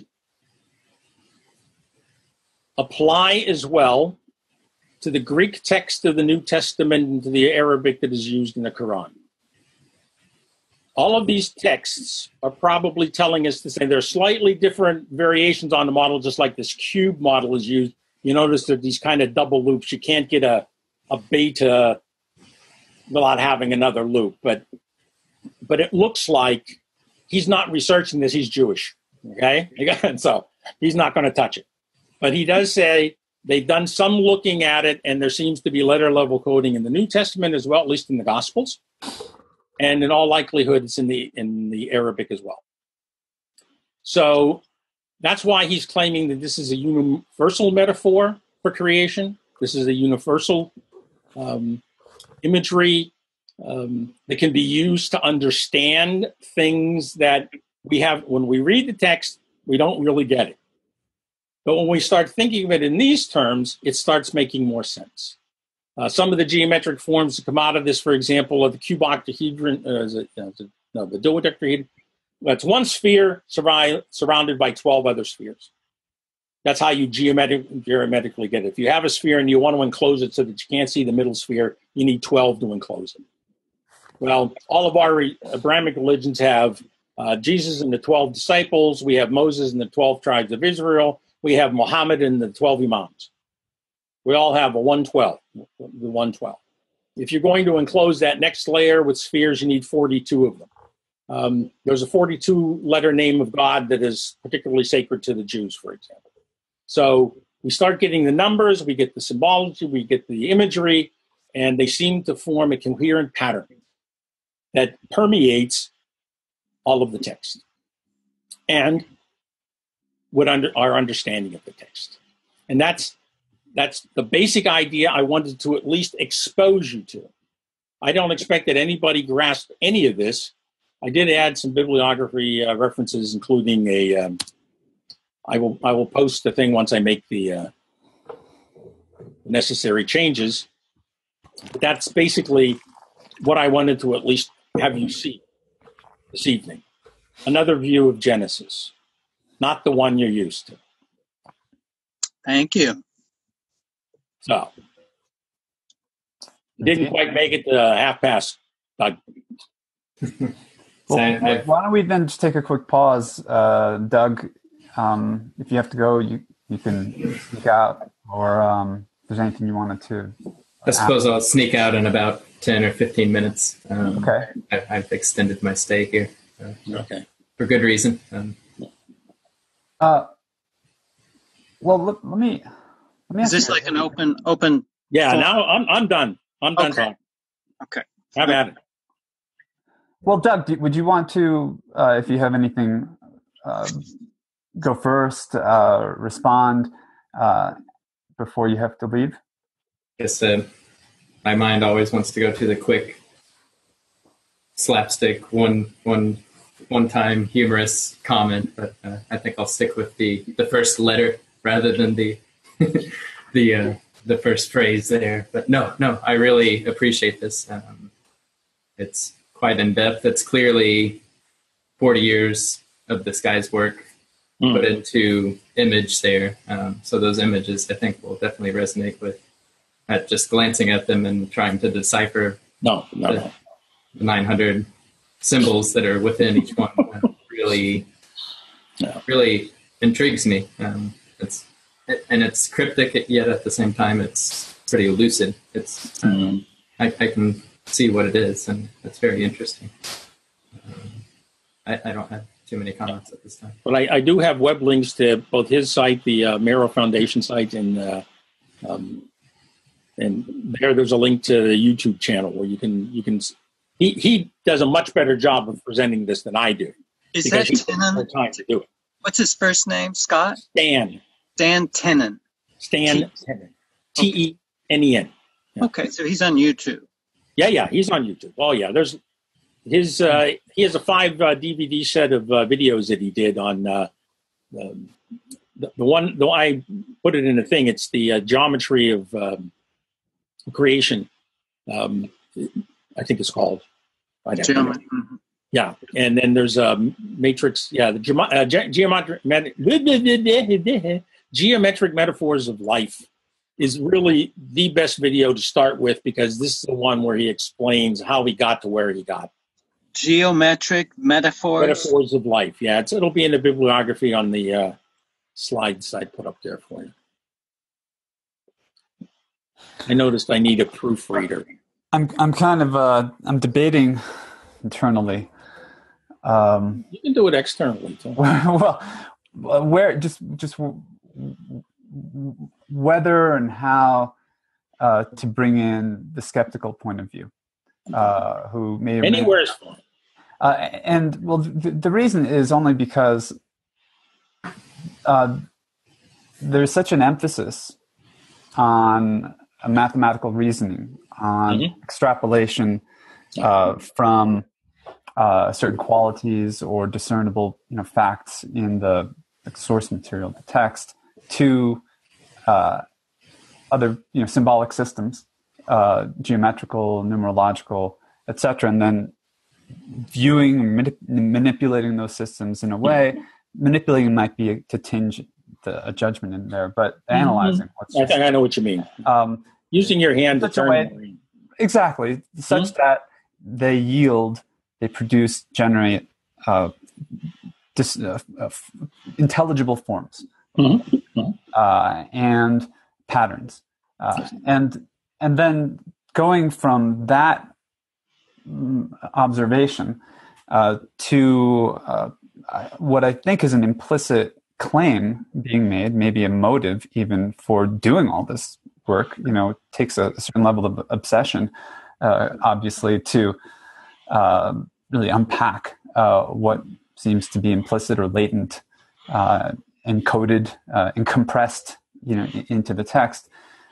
There's a there's a seems to be a, a, an attempt to make a claim that there's you said this in as many words more going on here than a contingent narrative arising out of you know one historical situation that could have been any number of other historical that you know that that that there is an ex that there are no extra words that wouldn't potentially theoretically at least fit within these this pattern Mhm. that it has consistency it shows some of the qualities of what we would associate with code uh, would suggest that it's uh, had the origin of the text itself is is not just contingent human beings in a you know sort of uh, unmoored historical process, but seems would seem to have a source um, that is uh, um, uh, transcendental to that. Let's just say transcendent. Uh, I mean, the closest analogy that would come to mind is the genetic code DNA.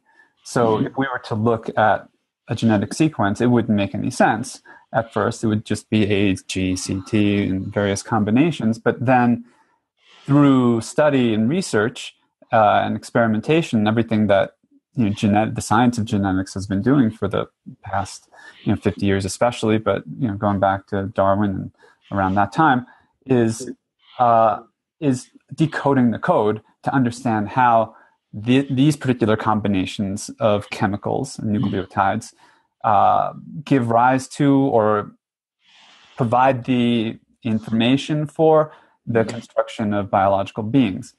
So the question that would come to mind, just you know, again going with this on the sort of hypothetical tack still, is if it is true that this is not just a narrative or a text, but it's also a code.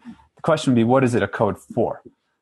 Uh, we understand that genetic you know, DNA is a code for biological organisms. What is the Bible a code for? Uh, mm-hmm.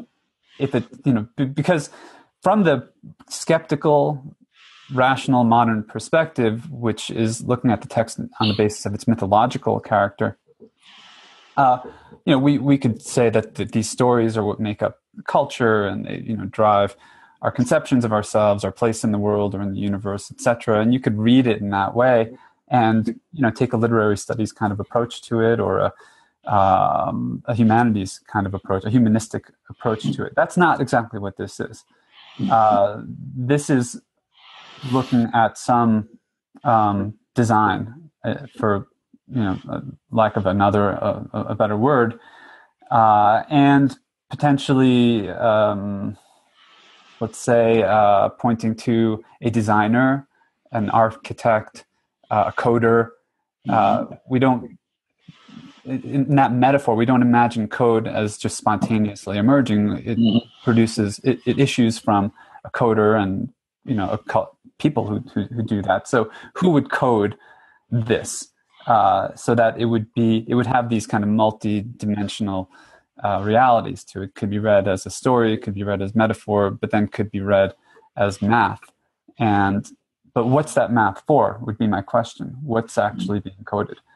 Uh, and I don't I don't know if there's been thinking done around there, but uh, I would be curious about that because if it's if it's just you know interesting correlations and I mean then that's interesting, but um, it doesn't lend itself to any kind of i think necessary insight into like the manifest world whereas uh, obviously genetics does you know we can uh, change the genome of a, of a species we can create new species eventually presumably we'd be able to do that what would we do, would we do with this code if we mm-hmm. understood it uh, what you is create musical instruments is what it is for example one could huh?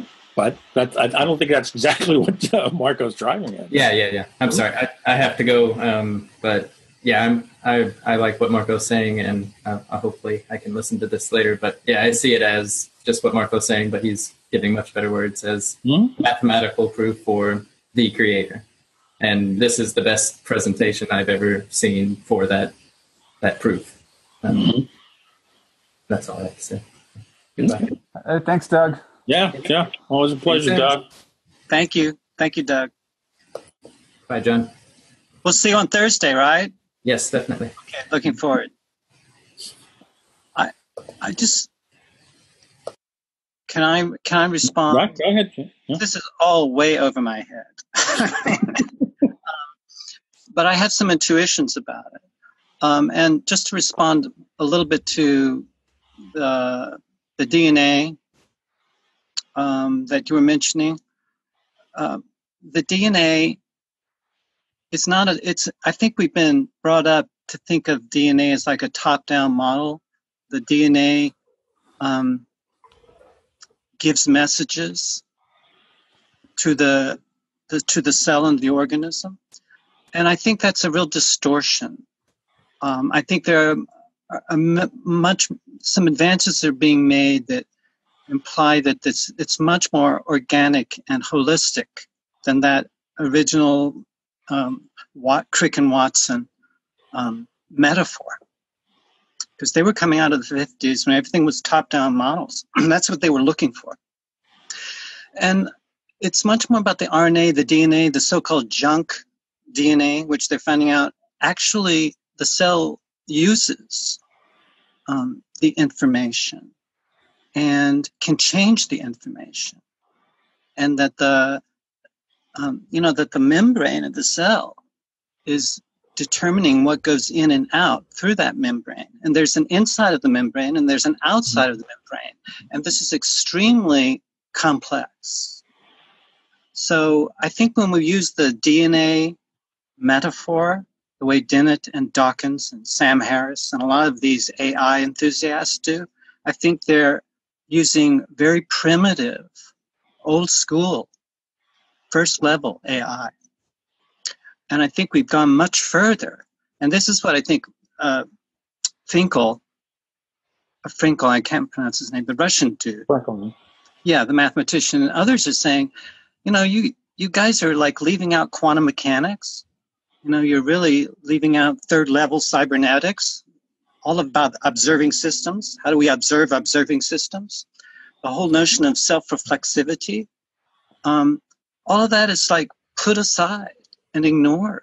So these uh, elaborate AI um, schemes can be concocted where there's no consciousness. Consciousness isn't necessary. We can put that aside too. and uh, this is all I think uh, laughable. Except it's not so laughable because some people are taking them seriously, and that's very tragic. Mm-hmm. And I just feel the um, so I I just want to like appreciate that that the that the use of the of that that metaphor um, I think, and the selfish meme idea is uh, creates enormous distortions. Um, also, I'm I'm just throwing this out there because I haven't figured this out yet, but I thought it was so fascinating what you talked about um, the, the gestural, the movement, the dance, the music, the sound, and how there's to me like a synesthesia, overlapping sensory systems are operating here that is also, I think, what happens when we're dealing with writing, reading, vocalizing. Um, there was a some educator in France said that we can just skip reading out loud and just go to reading silently, and they found out that children can't read silently unless they've learned how to read out loud. it seems so obvious, but it seems like these AI people think that way too. Well, let's just skip all these steps and just hit the jackpot, you know? And I think the, the vocalizing, the making of sound and gesture are so related to one another. And when we talk, we're pointing to what we're, we use our, our hands and our bodies to communicate to whoever we're communicating with, um, where all of this is in our perceptual space. And we give it a rhythm, we give it a tempo. We can slow it down or we can speed it up. But, but, um, and you know, if you sit on your hands, it's really hard to talk. You know, you need to have that. So there's a deep relationship between the, the mimetic, the gestural, the the vocalization. And then we we turn it into a different kind of code so we can write and then we can read and then we can enter into other worlds that you know people who have written texts they've they've died and gone a long time ago but we can read them and we can enter into the mind of a plato. Or we can even when we recite a text by shakespeare we recite one of his sonnets you know, I'm in that world. I'm also because I use my tongue and my teeth and my larynx and my lungs, and I can, um, oh, uh, um, to be or not to be, that is the question. Whether 'tis nobler in the mind to suffer the slings and arrows of outrageous fortune, that pentam- you know, that iambic pentameter. What's the difference? Between myself and Shakespeare. I've entered into the mind of Shakespeare through my own, through my physiology and through the, the way he's uh, pasted. And so I think these are very complex issues, but I think, uh, you know, that uh, I think we can make the confusion when we try to, I think we have to look at the interplay of math, language, and logic they all are emerging out of this gestural um, breathing um, creature in an environment that's trying to make sense with others, both human and non human. We're trying to make sense. And what's that Rosetta Stone? What can be, how, how do we translate between the, all of these incommensurabilities? I think that's what these that's what I'm getting from your presentation. Um, and um, this guy I want to look up, and how so many uh, th- th- there's some other people besides the uh, Currivan and Frankel, and there's someone else I just uh, uh, picked up who's really very interesting. I can't remember her name, but I was listening to a talk of hers, and she had a near-death experience. Mm. And in the near-death experience, she saw all these uh, geometrical relationships, and then uh, in topological forms, and she was able to um, draw them, and she presented them. She was a non-mathematician. She presented them to, Lou Kauffman, who's like the leading uh, mathematician in the field of uh, knots and uh, topology. And he looked at this stuff and she said, prove me right or wrong. What's going on here? And she, he, they, they did a, a, study and all these are coming out of, um, I, am not a topologist, but he would, he, she got some confirmation that this was all very legitimate because she was given and she was told, you know, go back and bring this with you. mm-hmm. and I want to read her book um, because I I just think that the, the the people who are working the fourth dimension, the fifth dimension, um, I think that there's something about that uh, being and and the you know the Mobius strip, the torus, the the, the Klein bottle, all these paradoxical paradoxical analogs. Um, I think this is a very rich and fertile area to study, and even in our of the little experiments that we did uh, with clean language, uh, where, you know, uh, where is that? Does it have a size or shape? What kind of is that? Looking for the qualities and then having to, and then find it in your perceptual space on the inside, on the outside, uh, or somewhere in between. Very important, knowing what's in and out and the in between um, and then having to draw a picture.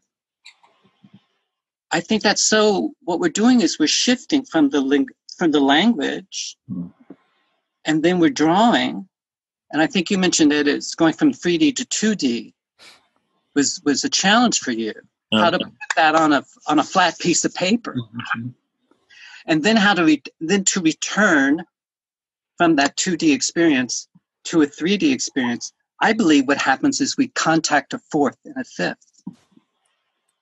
I think something that we can't put, we can't find words for yet, but I think there's, and I think maybe something that you mentioned too about experience. Um, this isn't just like uh, signifiers floating around. You know, it's it's coming. You know, we have to embody, and I think we're in a danger dangerous zone because we're tending to uh, the, the, the perceptual and the conceptual are are uh, disconnected profoundly in our culture. Um, that's why we get these nut jobs who are saying, you know, there's no such thing as consciousness. You don't need it. I'm I'm just like throwing this out because I don't know where to go with all this. There's just so much information, except for my own research purposes. I think, um, and the community we're trying to, uh, you know, to uh, to establish here is uh, I think it'd be very uh, interesting if we could find connections between our different research projects, and uh, you know, if, if, there are any connections, and if they are, what are they? You know, um, because I, I, I mean, I'm, I'm using clean language in a very, um, I'm not in, I'm interested in it as a, to use it for research purposes, how to get clean, clear phenomenological investigation going on. I don't think Heidegger did this very well. I think the phenomenologists, Sartre, all of they sucked at phenomenology. they were not good at it at all. And I'm, I'm just wanting to be a part of this movement to uh, um, reinvent phenomenology so that it can be a useful tool.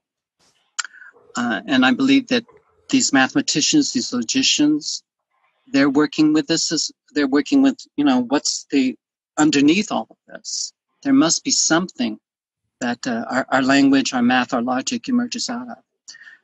And I was just reading a logic book. He says it can't be, and language can't come before logic.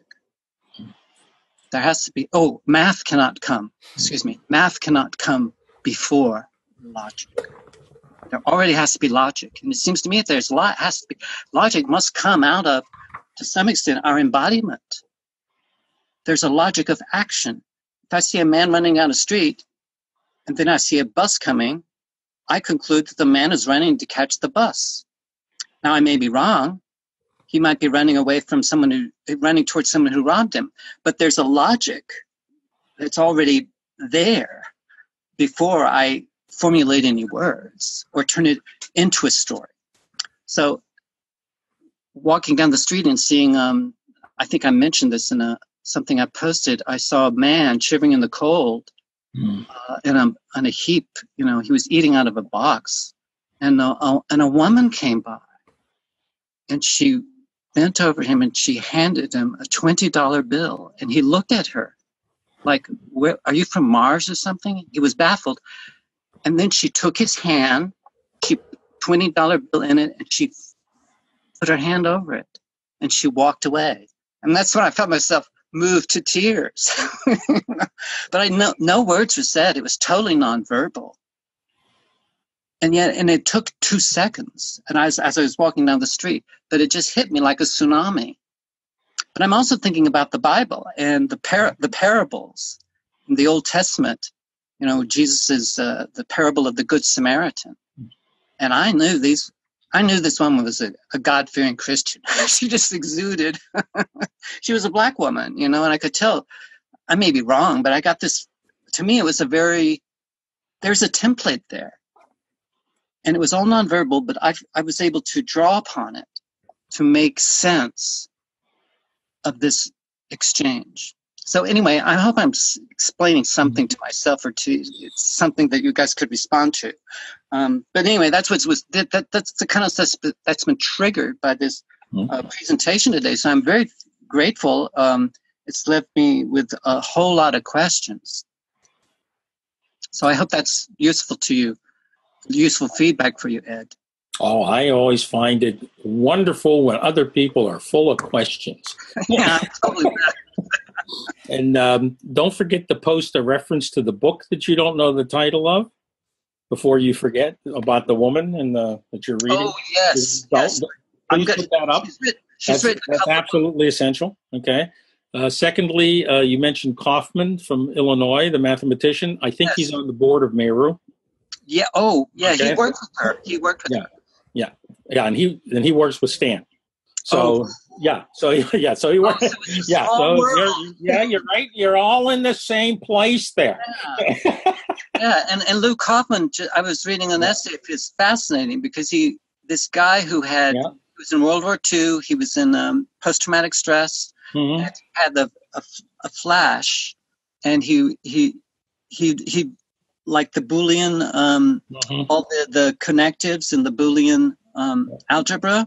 Mm-hmm uh, anyway, he came up with this new way of doing logic. Mm-hmm, mm-hmm. Lou Kauffman read him, yeah. and and it seems like uh, there's a lot of reason. This it was a kind of a spontaneous understanding of how logic, math, and language. Yeah, right. There's a, something underneath all of those disciplines that unify those disciplines. Yes, yes. And, and this is what Kauffman is is looking for. Yeah, he is and as I, well. Kauffman and, and any mathematician will tell you no formal logic was is not no formal logic is possible without a fundamental distinction. You have to be able to make it. Once you make a distinction, you can develop a logic. But without that distinction, you can't. And this is also, I think, what Bate is telling us. So what, uh, yeah. So that's that's all on that same. That's all on that same that same wavelength. But uh, to come back to what uh, Markowitz said, um, I'm, I'm pretty sure at some time you probably read Flatland. If you hadn't, I would highly recommend it. Mm-hmm. And it's good. It's worth reading again after you've heard a little bit of this stuff or looked at a Tenen lecture because if um, if we were, how do you communicate? And this is you know the question for me: How do you communicate with the Flatlander? You're sitting up there looking into 2D. How do you how do you tell them I'm here? You can't tell them look up you have to figure out some other way of communicating to that creature that there's another dimension or let's say another reality that they could relate to. And i and i think in in some ways it's not a one-to-one correspondence of course but i think in some ways and this is my own personal uh, feeling at the moment um, that you know in in the other thread that, that came up today we were talking about you know being and you know is it is it traumatically motivated or whatnot? But just, just the mere fact being that being is at all is pretty hard for me to wrap my head around. It's it's rather unfathomable. And what one of the things I feel resonating from from what Tenen is telling us is here is a consciousness. We'll call it that because he also refers to the work that he's doing as a science of consciousness. And, and he emphasizes the word science and he emphasizes the word consciousness. But if there were, in fact, this consciousness that wanted to make itself aware to us, how would it do it? Taking, just taking that flatland model. What, how do you go about communicating to a three dimensional creature, let us say, fourth or fifth dimension? And it seems to me that in some some odd way, this is parallel to that. We we have because it's not just, and this is the thing I like. It's not just the, the Bible. I think we'll, we will find this in more places. I have another friend who had, um, had a paraphysical experience, and he talks about sacred languages because there's more than one sacred language around the, the, the globe. But all of them seem to have in common that, and this is another thing that Tenen is finding in this parallel research, but not in this main focus, is that they're telling us the same thing. This is a way for, we'll call it another dimensional being to make itself known to us. Now, what that other dimensional being is, I don't know. It, within our religious tradition, we call it God, if you're religious, it, or the, the cosmic or, or Gaia, if you're if you're more um, you know inclined in, in, that direction. You know, we can call it a lot of things, and this is and the part I really find fascinating is I was reading the article that he wrote about the Emerald Tablet, where he goes through and explained this because I've gone through the Emerald Tablet a thousand times before, and of course, it made as much sense to me as uh, any other gibberish I've ever read. And then all of a sudden, it starts making sense to me when I'm looking at it in terms of this geometrical metaphor that he's provided me as an anchor point for that. And I see how these relationships where we're actually we're all using different words and we're using different but we're talking about the same thing. And this same thing that we're talking about takes off every time I see the same thing from somewhere else. This is also an I'll put it in Gebserian terms, an aperspectival thing. I see the same thing from another view, and I and I realize it's the same thing. In the moment I do that, I I feel a whole lot better and a whole lot curmudgeony about life in general, because there there seems to be a more that is worth looking for and it's the more that I'm interested in, whatever that might be. That that's how I'm personally kind of trying to deal with this. So for me, in answer to your question, you know, so what's it good for? Well, it could be, it may not be, but it could be. This is you know working hypothesis kind of thing that that something something a lot smarter than me is trying to say hello. and I'm not always uh, smart enough to realize, think of okay, we're doing that. And and this is why, for me personally, I find this whole idea of being able to gesture or dance. Not that I'm a good dancer, I'm you know, not at all. But when I I see people doing Tai Chi, for example, I, California used to you know drive down the street and they were out in the parks. There were masses of them and they're all out there in the morning and they're doing their tai chi. And i'm looking at these things and i'm going they're, they're doing this. They're doing the same thing. They're making these same gestures. There's a there's a very interesting article he writes about. Have you've ever seen the philippine wine dance where the waiter kind of dances around and he, he turns the, the glass of wine around or a flame without spilling it or putting the flame out and that whole motion is actually the it's called the Dirac, uh, string trick, but it defines the one half spin of the photon. that, that, if you wanted a picture of it, what you watch this guy doing, you go, oh, that's what he's doing, and it's, it's singularly asymmetric. And you're going, oh, okay, because I'm always going. So what the hell is one half spin? You know, Young talks about that all the time. I must have read this this thing from from Tenen a dozen times And yesterday I'm reading, I'm going, oh, I, oh, okay, I, I kind of get what that what that means. He and he's telling us that. And the, the what some of the other things that fall out of this, this is just from some of the reading inside, because uh, Young says, you know, the, the the the two toruses, the photon, it's us, it's the universe. Okay, he goes to you know, we're all that. That's why we should we should recognize like is like. And so, where was I going with this? Derailed my own train of thought. How good am I at that? Well, um, go ahead. Somebody was saying hello. well, so, and what what would you say back? Did you say interbeing? No, I didn't say interbeing. Oh, okay. Should I have said interbeing? No, that's fine if you didn't. But um, somebody says hello. I was thinking of Spencer Brown, and he talks about making a distinction. So just make a Yeah, distinction. yeah, yes, he does. Yeah, Make a mark. Make a mark. in the end, it all comes down to you have to be able to make a distinction, even in the Tree of Life Kabbalah. The very first lesson of the very first sphere, which is the one at the bottom of the tree, it's the you are here and the map in the mall. You know, you're at the bottom of the tree, and the idea is to get to the top. The very first lesson that you have to learn is to discern. Well, let, let me. I just want to add something, and maybe uh, Marco, I'm responding to a post as well. Okay, so Spencer Brown says, make a mark.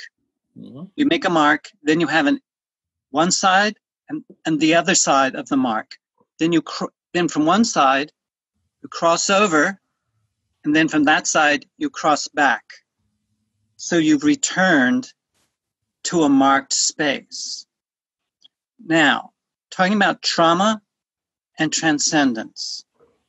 And Julie talking about Wally, uh, the man she was helping, uh, who had some awful disease, and the visions that he had. Um, and the woman who had the near death experience, who was given this vision during the near death experience of all these mathematical, geometrical, topological figures, and then her hanging out with Lou Kauffman trying to sort this out and him confirming that she's made these discoveries. And the other gentleman that Lou Kauffman was working with, who had, uh, who, you know, he was traumatized in the battlefield and he had a vision.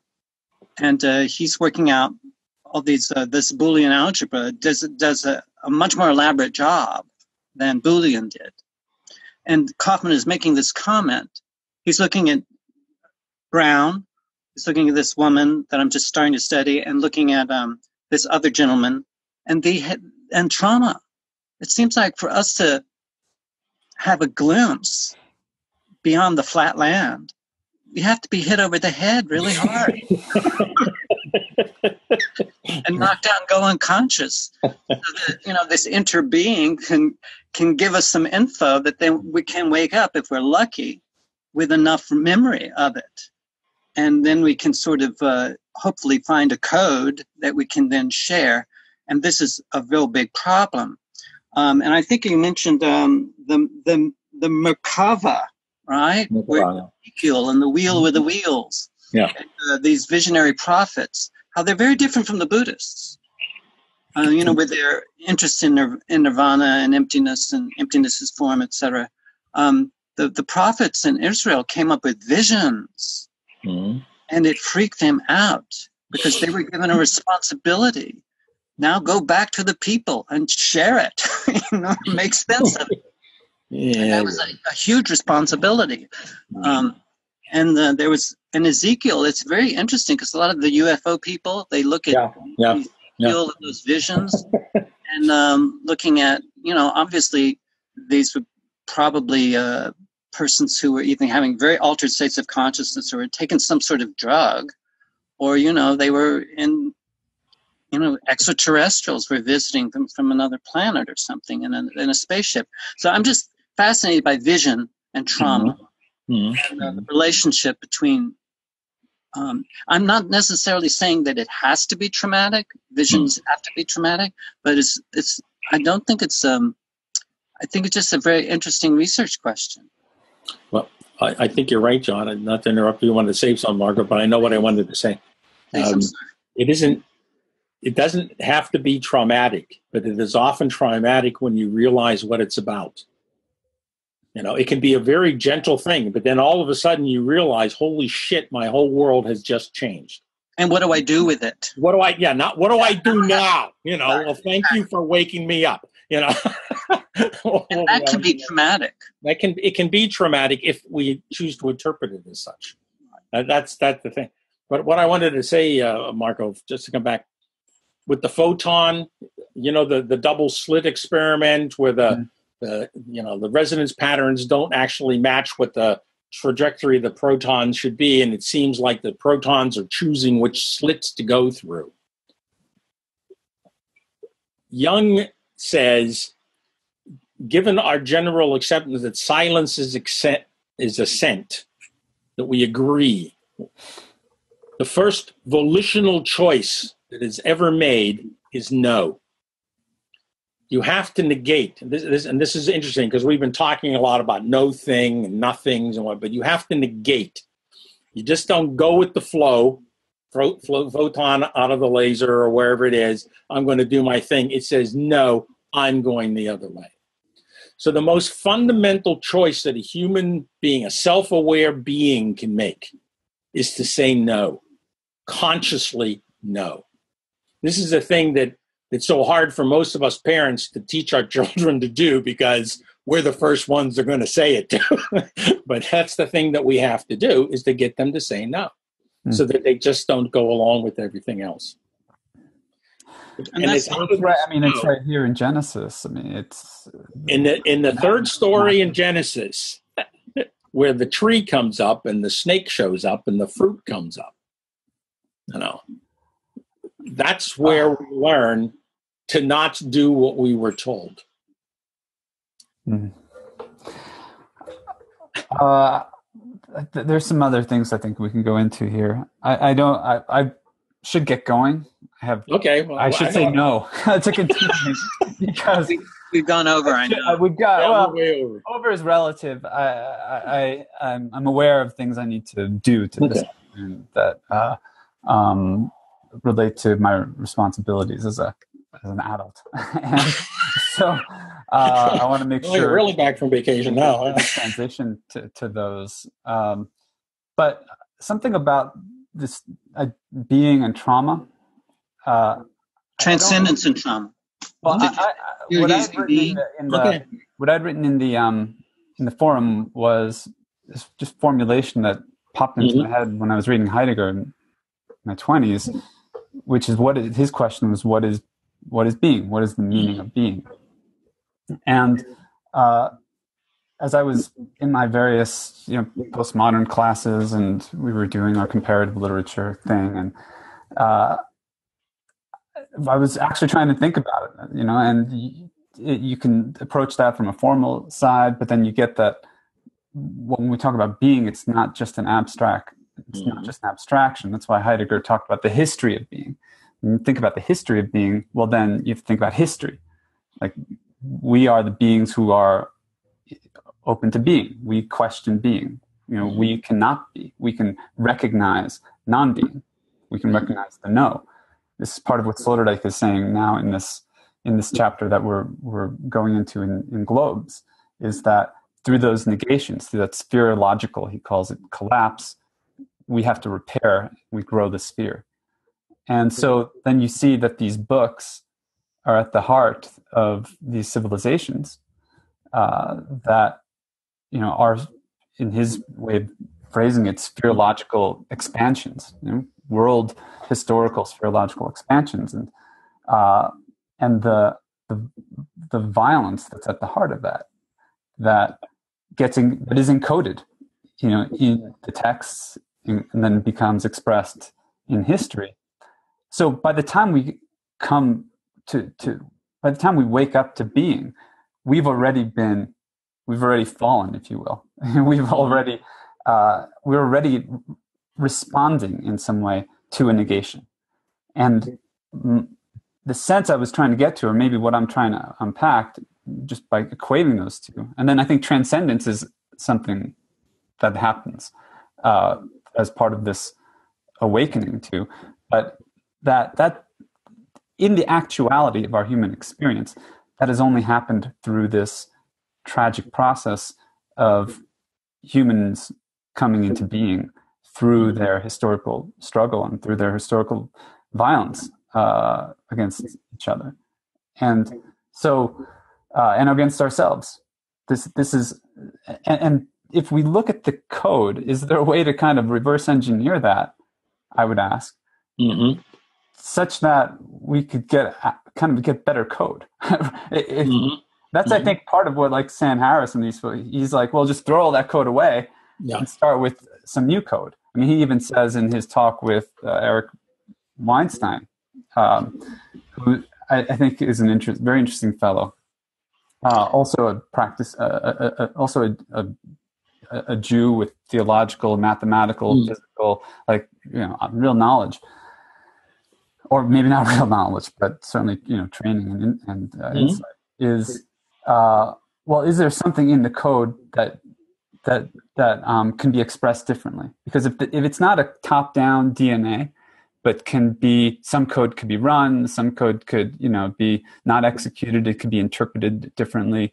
Uh, if if we have a more sophisticated understanding of how code is actually expressed, Mhm. uh, and it, Mhm. it's not it doesn't have to be in the kind of master slave type of dynamic relationship which is also a computer fun, you know computer uh, architectural function. Um, what what's the code that we actually like what's the code that we need Mhm. right now is i guess what i would ask. Mhm. uh, such that we can transcend the trauma of being yes. I- And I, I, I think one one of the things is, and, and you do get this from other places. John will bear me out on this. People who have had near death experiences or any other kind of or out of body experiences. or out of body experiences have an out of body. tend tend to be very violence negating when they come back or when they come to the other side or when they they, they come to this realization. And and I I personally think that one of the things the code is telling me is I'm going to say this in my words. I know I know you fell and you did that thing, but it's not necessary. And I think once you experience the code, this is why I find the dancing, the gesturing so important. Once you experience the code, you realize what the code means or what the code's about. And I don't think it's what we we think it means, like just sitting here talking about it.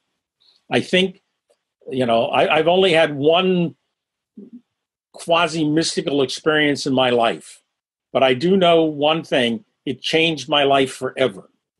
And since that point, I have been probably to the point of self abuse nonviolent. It's something I can't even I can't even get myself up for it anymore.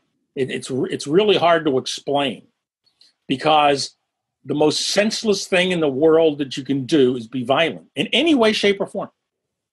For me, that, that's something I just brought back from my little. It was a little one too. This wasn't even a big one. I, I have I have great admiration for people that like go through the veil and come back and, and tell us about it, kind of thing. But I do believe, at least that's my working hypothesis. I'll repeat that part.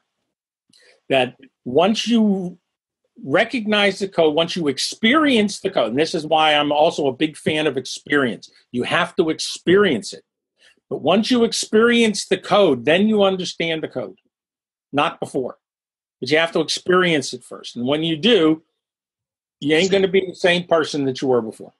So you're using the code, I'm, well, but that doesn't mean you, that doesn't mean you have an understanding of the code. no, no. I mean, I can speak I'm, tons of English sentences that have never been spoken before. that's correct. That, that's why. not the laws of grammar at all.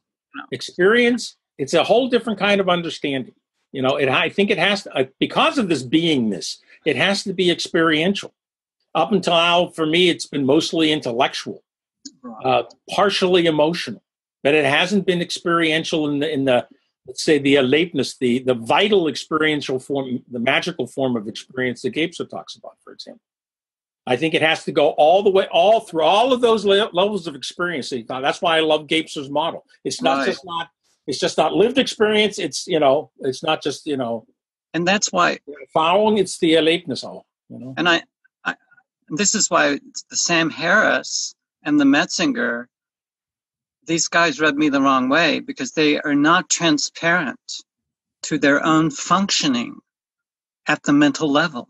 No. And I'm looking, I'm quoting like Robert Bellah, who wrote The Axial Age, and I Mhm. can't remember this other theorist, but um, oh, this guy Wolfson. He says you have you have myth, Mhm. you have um, mythopoetic, and then you have uh, poetic theory, and then you have theory. Mhm. Theory never emerges without myth, mythopoetic, and poetic theory, and then pure theory. And these guys are working with theory, Mhm. and they're just saying we can just drop all that other stuff. Right. If they did, the whole thing would come crashing Right. down. You don't have to There'd be orally read before you before you sign what we read. It's it, Yeah. that, that's the same thing. And it's always in those borderlands, those liminal zones, that the best uh, theor- theories emerge. Hmm. So that's why my I find them very problematic. They're very smart people, Yeah. they're very accomplished people, but they're not transparent Mhm. to. Uh, they're in this deficient mental grid. Yeah. And they think that's all there is. Just like Frankel was saying, it's like an 11 year old who's learned trigonometry and said Mhm. there's it's all trigonometry. That's all there is is trigonometry, which is really cute from an 11 year old. But this is this is what these AI guys are trying to put over on us, and I think it's going to. But I am a, a fan of AI. If you Mhm. can get some people together like this Weinstein guy who are transparent to Mhm. all these, to the the mythic, the magical, the mythic, the mythopoetic, then a whole, they a whole be different discussion. then the then the then the kind of AI that they would be producing would be a very different kind of AI. Yeah. And I think that's uh, then we would have something like what we see on Star Trek. You know, people could, and I think that the kind of technology that would emerge um, would be a very different kind of technology than the technology that is starting to emerge out of this uh, very narrow focus. So anyway, that's my two cents. But just to, to reinforce one small point that you made, I don't think you need any of that technology. That's the thing I like about what what Tenen at least lays out there. Mhm. You don't need anything more than you in your own hands. That's right. You know, you, you got every every tool you possibly need. You've got right in front of you. And a few friends. Well, that helps. you need other people who have the hat. reel you back in when you go off the deep Yeah, right. You can't do this on your own. You have to have other people It's around. always nice to have other people around. Yeah, my first animals, too. was on my own. Believe me, I And had no- birds and everything. We need the whole thing. Yeah. Yeah. All right. I think I think uh, I think that was wonderful. Thank you. I think you have to be responsible now. Yeah. I'm looking forward to looking at this again. All right. Uh, I'll get it up as soon as I can. Right. And we'll see you on Thursday, right? Indeed. Great. I'll put up. I'll put up the presentation. You put up the uh, the reference there, John. I'm. Uh, I sure will. I'll look her up. All right. Fascinating. Thank you. Thank you. I appreciate your patience, guys. Thank you very much. It's a lot of fun. Bye bye. All right. Bye now.